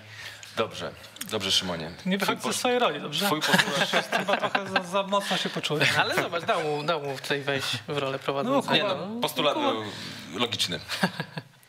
To jest grafika, którą przygotowałeś. No, Tak, wygląda to y, ciekawie. Wygląda to ciekawie. Warto dodać, że y, GKS Jastrzębie jest w najlepszej sytuacji pod względem meczów bezpośrednich, bo wygrał y, spotkania i z GKS-em Bełchatów, i z Zakojem Sosnowiec, i nawet z Resowią, więc y, no ale ten, ta końcówka mm, zastanawia w przypadku Jastrzębian, bo tam faktycznie może się wszystko rozstrzygnąć. To ostatnie cztery kolejki, kiedy są mecze, dwa, dwa mecze bezpośrednie, w tym przypadku chyba za sześć punktów możemy powiedzieć. Tak, i nie mam satysfakcji, ale przed rozpoczęciem rundy wiosennej mówiłem o tym, że to będzie bardzo ciężka runda dla GKS-u Bełchatów i to te drużyny typowałem jako faworyta w walce o spadek, e, jak mawiał Franciszek Smuda. E, Tak naprawdę ja nie wierzę w te zapewnienia, bo już kilka razy były takie zapewnienia, że to powoli wychodzi na prostą, że teraz już będzie lepiej, że mm, takie sygnały wysyłane właśnie w kierunku piłkarzy, że już nie bójcie się nas, podpisujcie kontrakty, a tak naprawdę potem znowu wszystko wracało, były problemy że ze stabilizacją na kluczowym stanowisku prezesa w klubie, ono się często y, zmieniało i tak teraz też nie do końca wierzę, że Bełchatów będzie w stanie y, funkcjonować y, tak fajnie, rozsądnie na poziomie pierwszej ligi. Może, może ten spadek to jest coś, co po prostu jest wypadkową tego, co się dzieje w klubie i, i, i ten I to od spadek... dłuższego czasu. Tak, i Ale z drugiej strony, się wiesz, przydarzyć. teraz, teraz jest konkret w postaci tych praktycznie prawie dwóch milionów, które dostali, więc no, to też nie jest w kij dmuchał w ich sytuacji. No tak, ale to jest Okej, ale- podsypanie, a nie... A nie, A nie zasypanie tak. całkowite. No, na pewno nadzieją dla nich jest to, że w, że y, w tym sezonie się utrzymają i zgarną Pro Junior System, no bo wtedy to już jest naprawdę duży zastrzyk finansowy. No i w przyszłym znowu jakoś to będzie, ale myślę, że y, oni chcą przede wszystkim zasypać tę dziurę, czyli to, co teraz y, przyszło, te, te, mm, te pieniądze z PGA z miasta, żeby zasypać to częściowo, co się, co się stworzyło wcześniej, żeby później tym Pro Junior System zasypać resztę, no i później to już będzie tak troszkę, będzie można odetchnąć i myślę, że nie jest to zły plan, no pytanie na ile realny do zrealizowania, bo łatwo nie będzie. a tak sportowo, kto ma najmniej argumentów z tych trzech drużyn? A też Bełchatów, no nie ukrywajmy, mimo, mimo Szabali. Tak, no, Bełchatów, s- zdecydowanie. trochę czasu minęło, odkąd Szabala był napastnikiem topowym, jeśli nazwisko, pierwszy zresztą ale w ostatniej historii średnio. Topowym, no 12 bramek wtedy No strzelił, tak, więc to tak. też takie topowe naciągane. Nie? Kreszewcu był, nie? Tak, tak. No z drugiej strony widzieliśmy w tym meczu z Zagłębiem Sosnowiec y, akcję, w której chyba tam, no nie wiem, 36-letni, może przestrzeliłem troszkę, ale wiekowy y, Waldemar Gancarczyk y, przebiegł sobie niczym Usain Bolt pół boiska i strzelił i wyłożył do pustej bramki, więc da się. Mhm. Dobra, Nie, tak dobrych temat. piłkarzy ma Zagłębie Sosnowiec, co by nie mówić Tak, o tej tak. drużynie. No jeśli chodzi, ale ma też sporo problemów, wiesz, no kontuzje czy, czy jakieś tam Ale co chwilę zawieszenia. mający dużo problemów Zagłębie Sosnowiec Jest to jest wyżej niż, ziemia, niż GKS Bełchatów. Bełchatów. Absolutnie się z tym zgadzam i podpisuję, że jednak to jest moment, w którym GKS Bełchatów żegna się z zapleczem Ekstraklasy. Okej. No cóż, życie. Wróćmy do Widzewa. Yy, Jeszcze chciałbym zapytać was o relację z szatnią trenera Dobiego, bo prezes Szor w wywiadzie z Leszkiem Milewskim na mm, Weszło wskazywał właśnie to jako jeden z głównych aspektów. Zarządzanie grupą, które kulało. No, chodziły takie pogłoski, że trener Dobi jest trochę za ostry do swoich piłkarzy. Jak to wyglądało od środka? Czy macie jakieś informacje? Były grupy wpływów różne w szatni Widzewa. Trener Dobi nie, nie radził sobie z tym. No nie, nie pałali do siebie miłością, powiem to tak e, delikatnie. Mm, e, Natomiast e, inna sprawa, że ja nie mogę się oprzeć wrażeniu, że w Widzewie cały czas ktoś komuś nie pasuje. A to nie pasuje komuś prezes, a to nie pasuje komuś trener, a to piłkarzom nie pasuje trener, a to prezesom nie pasują piłkarze. To się tam cały czas tak mieli. Ja myślę, że e, w grze o tron te wszystkie mm, zawiłości przez Lorda Warysa, które były knute, to tam mogliby spokojnie napisać taką swoją widzewską grę o tron i szczerze mówiąc nie wiem, czy autor, pan Martin by się w tym wszystkim połapał, co się tam e, w Widzewie działo, bo ja momentami e, nie wiem, kto jest z kim, kto z kim zawarł tutaj przymierze, żeby ten klub sprzedać, kto chce na czym zarobić jaką prowizję i tak dalej, i tak dalej. Tam jest naprawdę mnóstwo układów, układzików i to też jest problem Widzewa. No i Znaczy też tak- y, Z- Mnie trochę dziwi, że pies z taką łatwością przyznaje, że ogon, ogon nim kręci, bo tak trzeba interpretować ten wywiad. No, ale też y, nie jest łatwo pewnie zarządzać szatnią pod tym względem, że tam połowie osób kończył się po kontrakty praktycznie, więc każdy gdzieś miał swoją rolę do odegrania, prawda? I stąd to się pewnie brały te, te różne scysje. No tak, tyle tylko, że tam połowa szatni, której kończą się kontrakty, to jednej czwartej z tej połowy, albo i połowie z tej połowy kończą się umowy e, tylko w przypadku braku awansu, więc no wypadałoby, żeby jednak, e, nie wiem, przynajmniej ja chciałbym mieć robotę jeszcze pewną przez następny rok e, i, i się po prostu starać o ten awans, a nie knuć jakieś wojenki z trenerem, bo to można było rozwiązać pewnie jakoś inaczej. A teraz tak, i też jesteśmy bogatsi o ten mecz z Sandecją, który był skandaliczny tak naprawdę. Absolutnie. To, No to- to nikt nie grał Jak w wcześniej kibice decyzję. Widzewa generalnie lubią używać słowa na przykład kompromitacja, ale jeśli mieliby go użyć, to teraz Ale absolutnie. no bo gdy mówimy o tym, że trener mógł komuś nie pasować, no to następuje taka odwilż, tak? Odwilż związana z tym, że piłkarze dostają tam 5% do tego, że chce im się mocniej biegać, że te nogi niosą, że teraz pokażemy, e, że tak naprawdę trener był bardziej problemem, a nie piłkarze, a tutaj jest mecz z Sandecją. Ja rozumiem, że Sandecja jest e, e, rozpędzona. Rozumiem, że Sandecja może za chwilę dostać propozycję występowania w Superlidze, ale no kurczę, 9 na 11. 9 na 11. I tracisz gola. Tak, i Sandecja jest lepsza w 9. Tak. Ja miałem takie jak, wrażenie, jakby nikt że... nie powiedział, że jest 9 na 11, to ciężko się było połapać, nie? No, absolutnie. No ja tak patrzyłem na ten mecz i aż zerknąłem dwa razy na flash score, czy tam rzeczywiście były dwie czerwone dla Sandecji, bo ja nie wierzyłem w to, co, w to, co oglądałem. Naprawdę. Musiałoby być chyba piłkarzy Sandecji ośmiu, żeby Widzew potrafił sobie stworzyć Żeby zremisował przewagę. tak. Nie, no, No przecież, tak, ale też, gdyby y- oni się w kiblu zatrzasnęli albo w szatni, to by było 1-1 by się skończyło. Ciekawi mnie, y, czy, czy piłkarze faktycznie widzą taką teraz w osobie trenera Broniszewskiego taką postać, która ich poprowadzi do tego awansu i do tego przedłużenia tych kontraktów o rok. Zobaczmy grafikę yy, o trenerze Broniszewskim, skoro ten temat jest wywoła, wywołany. No, tak średnio jako pierwszy trener sobie, sobie radził. Generalnie yy, to jest yy, gość, który Średnio to ładnie to powiedziałeś. Wiesz co najśmieszniejsze jest to, ja już o tym wspominałem, że w tych zwycięstwach jest na przykład y, ogranie Radomiaka, który był na kacu po awansie, bo tam było tydzień Okej. imprezy i oni go ograli 5 do 2. E, I jeszcze też było zwycięstwo w tym samym sezonie jako Górnik Łęczna z rozwojem Katowice, ostatnim zespołem w tabeli, który się szykował do spadku i pożegnania z drugą ligą. Więc no, lista sukcesów dość wątpliwa. Właśnie to trener czy tymczasowy trener? Tak, do tej pory miał taką dyżurną funkcję Ale ma tyle kolejek do zakończenia sezonu, że no, No trener. Znaczy trzeba go tymczasowy, Coś ale jak Maciej Bartoszek y, w Wiśle Płock. Trener do końca sezonu. I tylko i wyłącznie dlatego, że Widzew nie ma już pieniędzy na, na trenera z nazwiskiem, trenera bardziej uznanego w środowisku. To jest, y, to jest dlatego rola A trenera wiecie, co jest najśmieszniejsze? Że mówimy od 20 minut o tym, jak przeciętnie zarządzany jest Widzew, jaki tam jest bałagan, a Widzew punktuje wiosną lepiej niż sąsiad z Zamiedzy, który jest po- poukładanym klubem od A do Z. To jest, To jest kwintesencja y, świetnie, ligi, świetnie, tak. świetnie. Chociaż czy, czy, czy aż tak poukładanym, skoro wydaje duże pieniądze na e, Rygarda i, i jakby No Szymon, sam w momencie dokonania tego transferu pewnie uznawałeś, że to jest najwyższy, najlepszy transfer w pierwszej lidze. No oczywiście. Pamiętam, tak było. oczywiście tak było. Nie Nie, nie nie, prze, nie przeczę tego. Dlatego no, warto, Ale warto, to, co się warto dzieje też mieć tę później- świadomość. To bo my ocenialiśmy jakby wartość piłkarską, a nie mieliśmy jakby pełnego tła charakteru, charakteru tego zawodnika, tak jakby. A Mhm. tu się okazuje, że największy problem nie jest z umiejętnościami Rygarda, tylko właśnie z jego charakterem. O czym powinien y, prezes Salski, czy po prostu ktoś y, zarządzający Najprędzej Krzysztof Przytuła, skoro on jest dyrektorem sportowym, obserwował Rygarda i gdzieś tam pilotował ten transfer. Skoro prawda? zaryzykował włożenie takich pieniędzy, to powinien mieć stuprocentową pewność, że ten transfer Nie, no nie ma każdym- stuprocentowej pewności. No, ale- Nikt nie masz, nigdy ale nie masz 90% No jak wiesz, ściągasz, ściągasz Boaci do Górnika i wydaje się, że masz stuprocentową pewność, a nie masz tak naprawdę. No, myślę, że Baci w ŁKS-ie też by pewnie nie dał rady. No tak. Nie no, to transfer e, z najciekawszego transferu największe rozczarowanie się robi, bo tak naprawdę on, pomimo tego, że miał udział przy golu, był najsłabszym zawodnikiem na boisku i to on tam e, powodował Przy pożary. dwóch golach miał udział.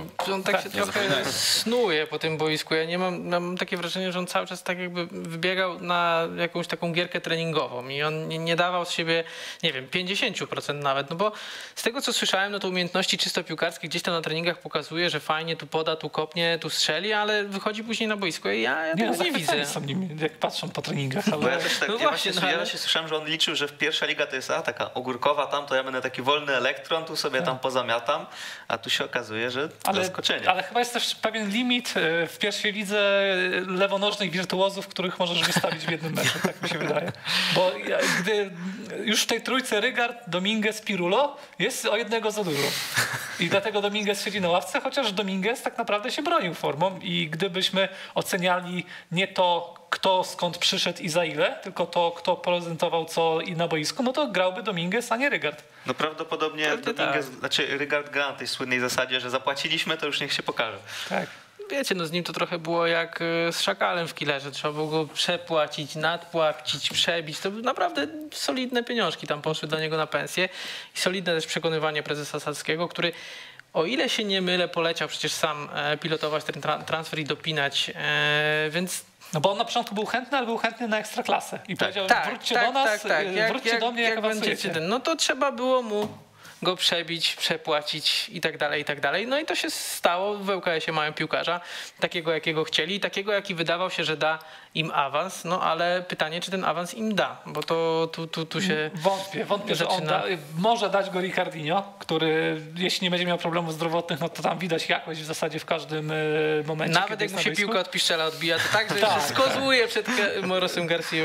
No, planowane było. On Planowane chciał, chciał było, słupek tak. nabić, żeby powiedział. Ale będzie. zastanawiam się nad jedną rzeczą. Czy Arkadiusz Malarz nie przeciągnął swojej kariery o jeden sezon za dużo? Bo no, popełnia coraz więcej błędów i nie daje pewności. Poza tym, jak chcesz grać od bramki, a wydaje się, że albo ta myśl Wojciecha Stawowego jest tak mocno W głowie za- zakorzeniona, zakorzeniona. już. Tak, albo Ireneusz Mauro dalej chce grać, no to nie z Arkadiuszem Malarzem, bo to się kończy jak się kończy. A wiesz, Bo to nie e, był pierwszy taki błąd też Arkadiusza Malarza. Tak, a on też ma, bo rozumiem, że defensywa UKS ogółem nie jest najmocniejszą stroną, a jeśli chodzi o statystyki obronnych strzałów, to miał po jesieni już bardzo słabe statystyki i teraz na pewno ich nie poprawił, więc jeden ze słabszych To bramkarzy w lidze. on, on nie daje wartości dodanej, tak? Bo możemy wymienić sobie kilka klubów, w których ten bramkarz daje, tak?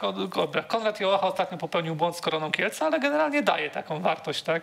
W Brookbecie dobry bramkarz, w Górniku Łęczna dobry bramkarz, e, Daniel Kaiser też broni się jak najbardziej. Mateusz Kowalski czy Dawid Pietrzkiewicz, solidny też całkiem bramkarz w No Sandecji. Pieszkiewicz to tak z czasem. ale, ale w Sandecji jest, jest okej, jest w miarę.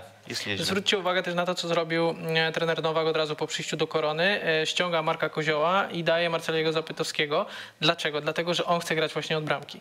Marek Kozioł w grze nogami nie daje sobie rady absolutnie i, i no bo na linii jest ok. On fajnie wszystko na linii odbije, złapie i tak dalej. No ale w tym elemencie gry nogami od Zapytowskiego jest y, dużo, dużo słabszy, dlatego Dominik Nowak od razu, od razu wprowadza młodego do bramki w pierwszym meczu i wydaje mi się, że to... Proszę? Wcześniej ty grałeś. Ale to grał Ale Bartoszka. wcześniej grał chyba... Wcześniej grał, a później też u grał. Kuzery, y, Wydaje ale mi, się, chyba nie że, wszystko. wydaje mi się, że zagrał wtedy bardziej na zasadzie młodzieżowca niż tego, Tak, żeby tak. był taki pomysł. E, Natomiast y, weźmy, tutaj w ŁKS-ie też powinna być, wydaje mi się, zmiana bramkarza, bo Malarz no, nogami nie pogra, refleks już nie ten.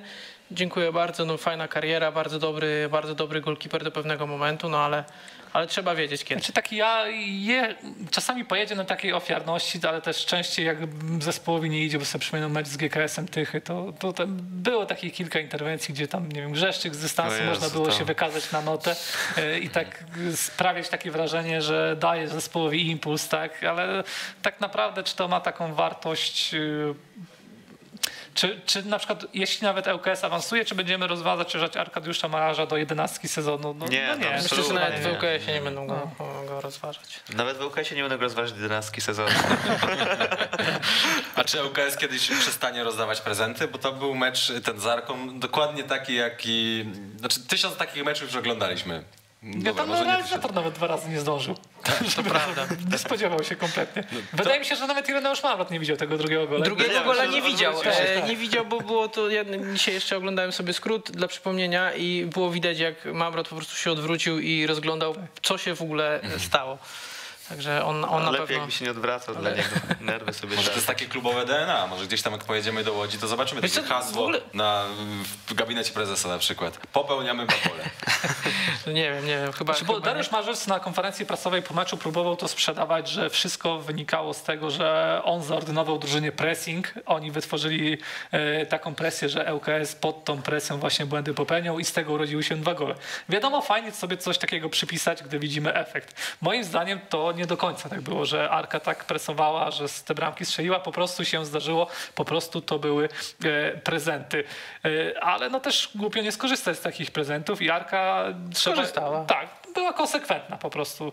Y, Potrafiła podkręcić trochę tempo, nawet ta końcówka pierwszej połowy to był taki okres, kiedy po stałych fragmentach gry mogła spokojnie strzelić, e, strzelić bramkę i, i wyrównać. Nie zasłużyła na to, żeby to spotkanie przegrać, bo LKS też nic takiego szczególnego nie pokazał. E, No ale z drugiej, z drugiej strony no to, co się wydarzyło w tym meczu z perspektywy UKS-u, to no ja dawno czegoś takiego nie widziałem. I, I gdyby ten mecz był rozgrywany 20 lat wcześniej, to bym powiedział, że Oj, nie mów tego lepiej. Le, nie, lepiej nie mów. Nie wiem, czy was o to pytałem, ale jeśli tak, to, to nie musicie odpowiadać. Czy myślicie, że ŁKS żałuje zatrudnienia trenera Mamrota i zwolnienia stałowego dzisiaj, patrząc, w którą stronę to poszło?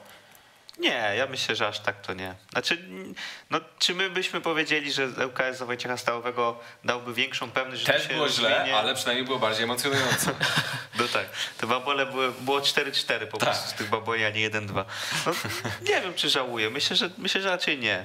Może pod względem takiej mm, filozofii, która gdzieś tam w ŁKS-ie była mm, od przyjścia trenera Kazimierza Moskala, i którą trener Saski i Przytuła, i Krzysztof Przytuła mm, gdzieś tam próbowali promować, że ŁKS chce grać piłką, chce grać po ziemi, chce grać tak e, fajnie, efektownie, żeby, żeby tych widzów e, przyciągać na trybuny, no to w tym ŁKS-ie trenera Mamrota tego nie ma, to gdzieś zaginęło. ŁKS stał się nagle zespołem, który no, jest jednym z wielu polskich klubów. Niczym się, absolutnie niczym się nie wyróżnia, więc myślę, że może pod tym względem. Natomiast tak ogólnie, no myślę, że, że nie, że za wcześnie jeszcze na takie, na takie wnioski, za wcześnie na takie wnioski w ŁKS-ie, bo może gdzie indziej już by, już by taki, taki, taki pomysł mieli, że, że, że, że Ja jestem żałują. ciekawy, czyj to był pomysł. Czy bardziej prezesa Salskiego, czy bardziej Krzysztofa Przytuły? I coś mi mówi, że bardziej prezesa Salskiego. Chyba I jest, prezesa, trochę, jest trochę jeden do jednego, jeśli chodzi o nietrafione wybory. I teraz panowie, nie, nie jest tak, że e, ten wybór jeszcze mocniej podkupuje pozycję Krzysztofa Przytuły, która podobno nie była zbyt e, mocna wcześniej po, po tym, co się wydarzyło Po, w jego pozycję podkopuje Rygard, więc tak sobie przerzucają te kamyczki do Tak, ogródka. tak.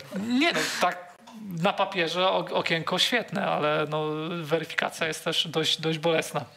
Mhm. No, Generalnie ten mecz złą e, recenzję wystawia Ireneuszowi Mamrotowi, bo ŁKS grał jak grał.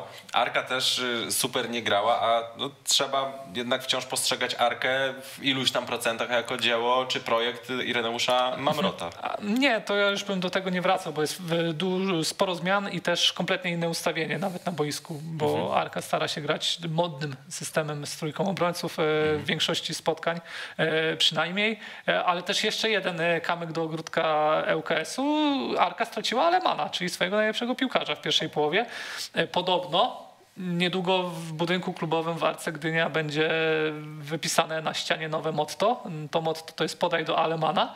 Ale e, po, gdyż- ale po hiszpańsku. tak, gdyż właściciele y, klubu bardzo, bardzo często powtarzają takie zdanie w rozmowach z piłkarzami, może trenerzy rzadziej. I zobaczcie, i, to, to jest oczywiście taka zabawna ciekawostka i to jest prawdziwa historia, że bardzo często to hasło pada i piłkarze są namawiani do tego, żeby jak najczęściej oddawać piłkę Alemanowi, ale to jest też dość trawna diagnoza, jeśli chodzi o potencjał tego zawodnika, bo jemu rzeczywiście warto tę piłkę oddawać e, i Arka straciła tego swojego lidera w tym spotkaniu, a mimo to potrafiła do meczu wrócić i, i to też zasługuje na jakieś uznanie. Znaczy mocno furtkę do tego, żeby wrócili do tego meczu, otworzył im Arkadiusz Malarz, no i to tu trzeba to też podkreślić w, w tym mówieniu o zasługach Arki Gdynia, no bo jednak gdyby nie, nie te dwa babole ŁKS-u, no to no nie Znaczy, wiem. Rygard, nie, Rygard nie może popełnić takiego błędu, ale gdy się nad tym Absolutnie, też, zastanowimy, też, to samo wznowienie malarza i podanie do Też Rygarda było też było bez sensu. Tak? tak, tak, tak. No, Arka No i na- później masz drugie wznowienie Malarza, które już... Arka na pewno tak y, odetchnęła po tym, po tym zwycięstwie, bo jakby oni przegrali, to też by tam było cieplutko pod względem y, tej przewagi nad kolejnymi zespołami w tabeli. I faktycznie ja się nie dziwię, że tyle zespołów teraz ma ochotę i, i aspiracje do tego, żeby grać o baraże, no bo też ta postawa Arki jakby no nie przekonuje cię, że a, no nie da się, to 6 punktów nie do odrobienia. tak. I Arka ma jeszcze puchar, puchar, finał Pucharu Polski. Tak. To też jest jakiś argument e, w tej grze o, o szóste miejsce. Tylko Arka ma jeden mecz mniej chyba, tak? Tak. O ile- Tak, tak, tak. właśnie. tak. No chyba w środę. w Ale y, to już, że ma mecz mniej, to w sumie tam większość zespołów ma po meczu mniej, więc... Pytanie z czatu. Jak sądzicie, na którym miejscu skończy Sandecja? Ósme, siódme, tak bym powiedział. Może dziewiąte. No tak nie podejrzewałbym, że na szóste aż wskoczy. No ja co kolejkę mówię, że to już musi teraz się skończyć. I, to, I się nie Ale kończy. grali z Widzewem, to się nie liczy. Tak, to prawda. Ale grali dziewiątkę. To się nie liczy, grali z Widzewem. Ale Nie, to, no, to, tak- to pytanie chyba było o Superligę. A. na którym miejscu tam A, no to nie, pewnie to na trzecie. Okej, czy myślicie, że Dominik Nowak zostałby trenerem Korony, gdyby nie choroba Kamila Kuzary? Myślę, że tak. Yy, chociaż trochę dziwiły mnie te przeciągające się gdzieś tam negocjacje. Yy, I też słyszałem już takie pogłoski, że gdzieś nie wszyscy w Kielcach trenera Nowaka chcą.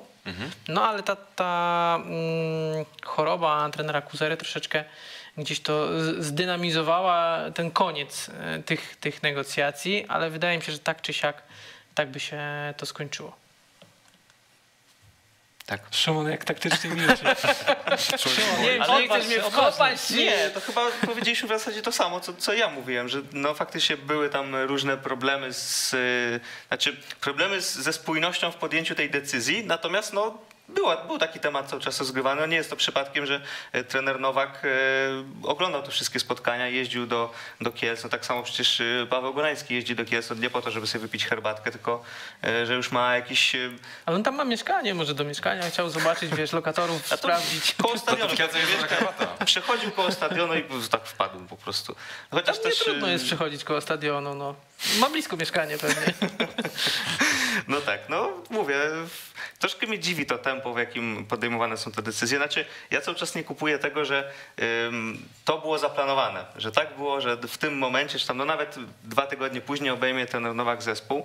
No, nie potrafię sobie wyobrazić trenera, który na przykład y, patrzy, jak jego tymczasowy następca y, wygrywa seryjnie mecze i czyta komentarze kibiców, którzy mówią, że nie, no zostawiamy go, tam po co nowego trenera. Skoro idzie, tak. I w klubie narasta y, taka też narracja, bo pojawił się w pewnym momencie, bo na początku nie było tematu, że Kamil Kuzera doprowadzi sezon do końca, ale później jak faktycznie i kibice zaczęli się tego domagać i wyniki zaczęły się zgadzać, no to taki pomysł gdzieś tam kiełkował. Znaczy, jeśli po tym, co wydarzyło się z udziałem trenera Macieja Bartoszka, z ogłoszeniem go dyrektorem sportowym, potem po błyskawicznym wycofaniu się z tej decyzji ktoś wierzy, że w koronie są planowane rzeczy z taką zegarmistrzowską precyzją co do dnia, co do tygodnia, co do kolejki, no to ja gratuluję.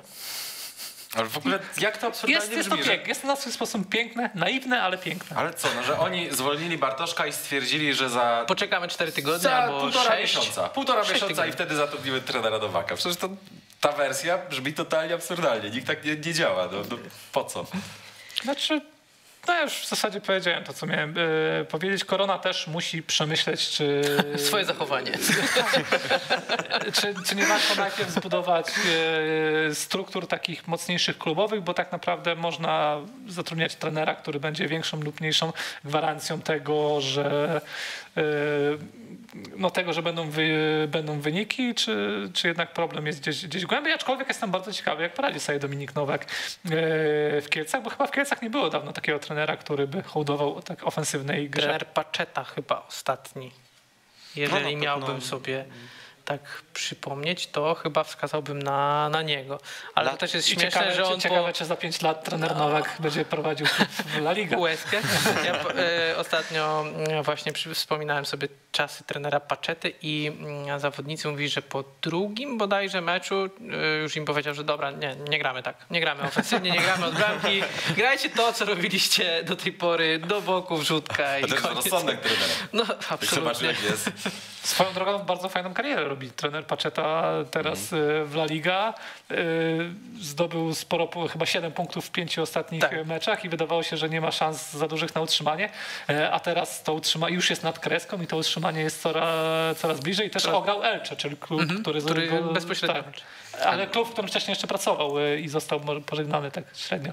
Co, co do trenera Nowaka, to pewnie kluczowe będzie też lato, bo pewnie będzie chciał sobie sprowadzić paru zawodników pod tę pozycję i, i chyba jest tak, że oni jednak e, do tych baraży w tym sezonie podchodzą tak z takim dystansem, a przyszły sezon ma być taki na Szkoda, powrót. że, że, że trener Bartoszek nie wiedział, że podchodzą do tego z dystansem, bo mógłby się trochę rozczarować takim komentarzem. O kurczę, no. Ale jak już powiedzieliście, że trener Nowak kombinuje z bramkarzem, to ja już, już zaczynam wątpić, bo mieć Legnicę trenera Nowaka miała takie problemy z bramkarzem, poza krótkim czasem, w którym bronił Dżanajew, to w zasadzie było pasmo jakichś porażek i mieć spadła z ekstraklasy między innymi przez to, że nie miała bramkarza. Ale Kuba Łukowski będzie I miał... później e, w, w, w, w pierwszoligowej miedzi też był cały czas problem z Tak, bramkarzem. dokładnie. Kuba Łukowski powinien mieć dobry okres, bo on u trenera Nowaka się rozwinął, a też miał fajny początek wiosny. Ale ciekawostka jest taka, że e, trener Nowak nie ma asystenta, e, asystenta Smolnego teraz ze sobą, więc to może być jakiś, może mieć to wpływ na to, jak mu będzie szło w Kielcach, albo też jaki będzie jego pomysł. A waszym zdaniem y, trener Nowak będzie wprowadzał trochę taki styl, jaki prowadzał Miedzi Legnica? Ofensywny, nieco hiszpański? Czy jednak w Kielcach nie ma do tego y, potencjału kadrowego? No teraz nie ma, ale latem pewnie będzie chciał mieć. Chociaż w sumie nie ma potencjału hiszpańskiego, tam Hugo Diaz, y, Felipe Oliveira, to są majestico. Nie, no myślę, że będzie chciał grać po swojemu. E, może rzeczywiście w tym sezonie mu to nie będzie wychodziło, ale on zresztą chyba na pierwszej konferencji powiedział coś takiego, że woli wygrać 4-3 niż, e, niż 1-0, więc, e, więc to zwiastuje raczej trzymanie się swojej filozofii. Zobaczymy. W ogóle tak mam wrażenie, nie wiem czy, mm, czy te, też tak myślicie, że mm, te zmiany trenerskie trenera Mamrota i trenera Nowaka, to ja bym dał je na odwrót. Możliwe. Bardziej by mi oni pasowali do, No, w sumie tak, no. do, do, do, do tych klubów. To Chociaż to trochę kurczę jednak obraziliśmy trenera Mamrota, widząc go w koronie. Chociaż tak też poprowadził swoją karierę. Że... To raz, a dwa na przykład no taka korona, nie wiem, pierwsza, pierwsza edycja korony Macieja Bartoszka, no czy trener Mamrot by się o takie coś obraził? No chyba nie. Pewnie nie.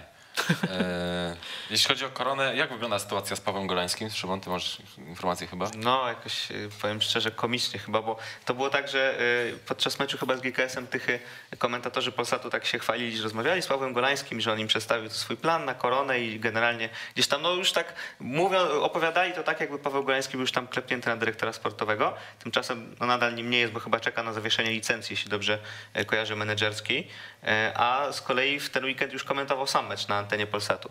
Więc to już jest takie trochę taki, taki mindfuck. Tak, y, z jednej Jak to strony... sam komentował? Znaczy, Bez- koment, był komentatorem y, innego spotkania. Chyba Arka UKS komentował Paweł Golański właśnie. Chyba tak. Tak, Chyba tak, tak. jako No współkomentator. wiesz, póki, nieformalnie, nie- póki formalnie nie jest zatrudniony, to Może jeszcze oglądał kogoś przy okazji. W tym. Czyli tam był jakiś bardzo taki śmieszny żart, ale już mi wypadł z głowy. Bo ma takie... takie, takie, No takie pytanie, czy, pytanie, czy tam też nie ma jakiegoś bana, czy, czy- czy, czegoś w tym rodzaju. No mówię, tam jeszcze do tej, wracając do tej sytuacji, to Janek z 89 też mówił podobnie, więc myślę, że mamy dość solidne informacje o tym, e, że nie do końca wszystkie, e, wszystko jest w koronie tak, jak miało być po tych wszystkich zmianach przeprowadzonych. Mhm.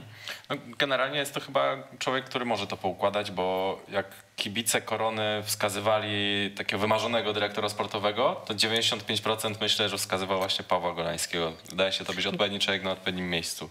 Tak, y, tym bardziej, że też w Kielcach jest taka, taka tęsknota za bandą świrów.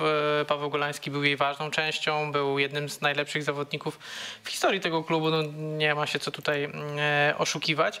Więc myślę, że on też no, generalnie zna, zna się na piłce, więc y, możliwe, że, że podołałby po układaniu tego wszystkiego. Tylko pytanie wtedy, jak poradził, po, podzielone zostałyby obowiązki e, z panem Maciejem Gilem, bo on też z tego, co słyszę, to ma takie zapędy e, w stronę dyrektorowania. No przecież większość transferów tak na, na dobrą sprawę to on przeprowadził zimą, tych zagranicznych przynajmniej. Jak wypadły, to pewnie ocenimy sobie po sezonie, myślę, że... No, Szpakowskiego też pewnie no, mówił. Y, Tak, tak, tak. No to, to jeszcze bardziej przyszłościowy transfer. Natomiast tak tym bardziej skupiając się na tych zagranicznych, że no, no jednak cały czas no nie są to przekonujące nazwiska w większości. No zwłaszcza ten Ilmaz, no Boże Święty, przecież ta korona, no brakuje im napastnika. To jest ewidentnie największy ból korony, bo myślę, że e, korona ma cały czas ujemny bilans bramkowy i myślę, że ten bilans byłby lepszy nawet, ale no, no nie ma kto tam zamykać. No nawet była akcja w tym meczu, wyłożenie gdzieś na piąty metr, się prosiło, żeby tam był ktoś, to po prostu taki Grzegorz Piechna z dawnych lat, to tam stałby tam i by to strzelił, a teraz no, no nie. Okej, y, poproszę was na koniec o jeden wolny wniosek. To może bym powiedział o Rubio, bo Rubio imponuje. Zaskakująco się 12 odbudował. meczów, 0 goli, jedna asysta. Oczywiście nie, to nie było tak, że 12 meczów od deski e, do deski, ale teraz 3 mecze, 4 bramki. Naprawdę może się podobać. I Bo w jest Sadycji tak jest, jak już się odbijasz, to Tak. idziesz seryjnie. Tylko, że to nie jest taka normalna zwyżka formy. Zmierzam do tego, że Rubio jest trochę nieopowiedzianą historią. On trafił do ekstraklasowej Krakowi, pokazał się tam chyba bramkę nożyczami, strzelił w takim meczu ze Śląskiem Wrocław, jeśli dobrze pamiętam. E, I potem była choroba i ta choroba wy, wy, wyłączyła go na dłuższy czas. E, Tam w pewnym momencie już było bardzo słabo, e, ale udało się wrócić i e, bo on jest wypożyczony cały czas. Może jeszcze Był, wróci był, na jeszcze, poziom. był jeszcze w Zagłębiu Sosnowiec, tam Tak, nie wyszło, tak. ale z drugiej strony komu Zagłębiu wychodzi? Tam chyba dwa gole strzelił, coś takiego. Coś takiego. No. No, ale też y, warto docenić, że wygryzł y, Rafaela Wiktora w takim momencie, kiedy się zdawało, że to Wiktor ma bardzo mocną pozycję. Tak, a Wiktor potrafi wejść z ławki i strzelić dwa gole, tak jak ze Stomilem. I to bardzo fajnie się to wszystko uzupełnia. Też jest ciekawym napastnikiem, ale wydaje mi się, że Rubio jeszcze może nas zaskoczyć. I usłyszymy o nim nie tylko na poziomie pierwszej ligi. Łukasz? Ja o tych łódzkich klubach, e, bo zastanawia mnie to, jak zostanie rozwiązana ta sytuacja w Widzewie, bo tak naprawdę e, Widzew e, stracił rok w tym, w tym sezonie, bo ten projekt z trenerem Dobim mówiono o tym, że to będzie taka rzecz przejściowa i tak dalej, i tak dalej. No, tak była przejściowa, że nawet nie, nie dotrwała do końca e, sezonu. Ta drużyna będzie budowana od nowa, pieniędzy jest coraz mniej, więc ja się zastanawiam, kiedy po prostu mm, przy Piłsudskiego pójdą po rozum do głowy i zaczną tam e, zarządzać tak, jak powinni. Tym bardziej, że budżet tam jest naprawdę solidny i ekstraklasowy tak naprawdę, bo gdyby jeszcze dodać pieniążki od sponsorów i Kanal Plus, to, mm, to mielibyśmy już e, solidnego, solidny środek tabeli mm, finansowej ekstraklasy. Więc ciekaw jestem, czy i kiedy to się w Widzewie stanie. Natomiast jeżeli chodzi, mm, e, wątpię, żeby to się stało w najbliższym czasie przy, przy obecnym sposobie zarządzania. Natomiast jeżeli chodzi o ŁKS, to zastanawiam się, kiedy trener Mamrot mm, znajdzie sposób na swój ŁKS. Bo ja na razie ten ŁKS y, oglądając, y, dla mnie on jest nijaki bardzo, bo on nie jest ani e, Stawowego, ani Moskala, ani nawet Mamrota, które, jakiego ja znam, nie wiem, z Jagiellonii Białystok na przykład. Więc zastanawia mnie to, czy trener Mamrot i kiedy znajdzie sposób na ŁKS, a na pewno na, nie może ŁKS grać tak, jak gra, bo, bo zaraz się okaże, że, że odpadnie w pierwszej rundzie baraży, no bo do tych, do tych baraży się na pewno dostanie, no ale co dalej, no to już e, wielka zagadka. To dopytam może, czy słyszałeś może coś o, o potencjalnej zmianie trenera w ŁKS-ie, bo takie plotki się pojawiają. Widziałem te plotki, ale szczerze mówiąc nie bardzo chce mi się w nie wierzyć. Też już słyszałem takie zapewnienia gdzieś, że, że no nie, że to się nie wydarzy. Oczywiście tym wszystkim e, zapewnieniom kuluarowym nie można wierzyć do końca, nie zawsze się to wszystko sprawdza, ale no nie wiem, nie widzę tego po prostu w ŁKS-ie. E, Trochę byłbym- ŁKS zaorał wszystko Zaorał wszystko to, co budował przez Przez lata, lata. no. To, te, nie dość, że zaorany został już ten styl, o którym żeśmy wcześniej mówili i taki, budowania takiej drużyny innej niż większość polskich, to teraz już tego nie ma, jest jedną takim ŁKS-em po prostu jednym z wielu klubów, to jeszcze doszłoby do tego taka, takie stereotypowe polskie zarządzanie, czego chyba przy Alei Unii e, chcą uniknąć.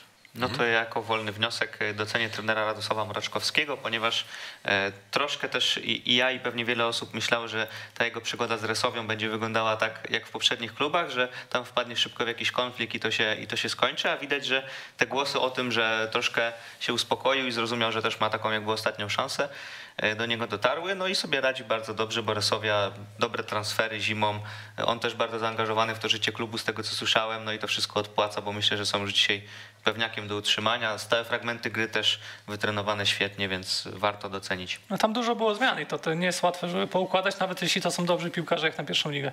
No No, tak. ge- Generalnie trener Broczkowski, jeżeli chodzi o taktykę czy przygotowanie, no to, to, to absolutnie ogarnia, że tak e, powiem kolokwialnie. Natomiast no, problemem były te relacje z drużyną. Jeżeli to poprawił, to Ja się cieszę, że to się poprawiło, bo myślę właśnie, że y, fajnie byłoby mieć trenera mm, Mroczkowskiego, który realizuje ten swój potencjał merytoryczny.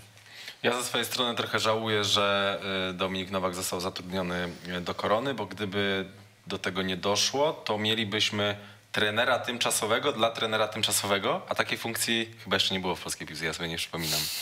Y, Więc byłby to pewien chichot losu. No trochę szkoda, że, że tego nie mamy. Korona jest do tego zdolna, żeby coś takiego przeprowadzić, ale może kiedyś y, jeszcze zobaczymy. Mateusz Okuszewski, Dziękuję. Łukasz Grabowski, Przegląd Dziękuję. Sportowy, Szymon Jańczyk. Dziękuję. Jakub Białek to był program Weszło Polscy, czyli program o Superlidze i Super Super Lidze.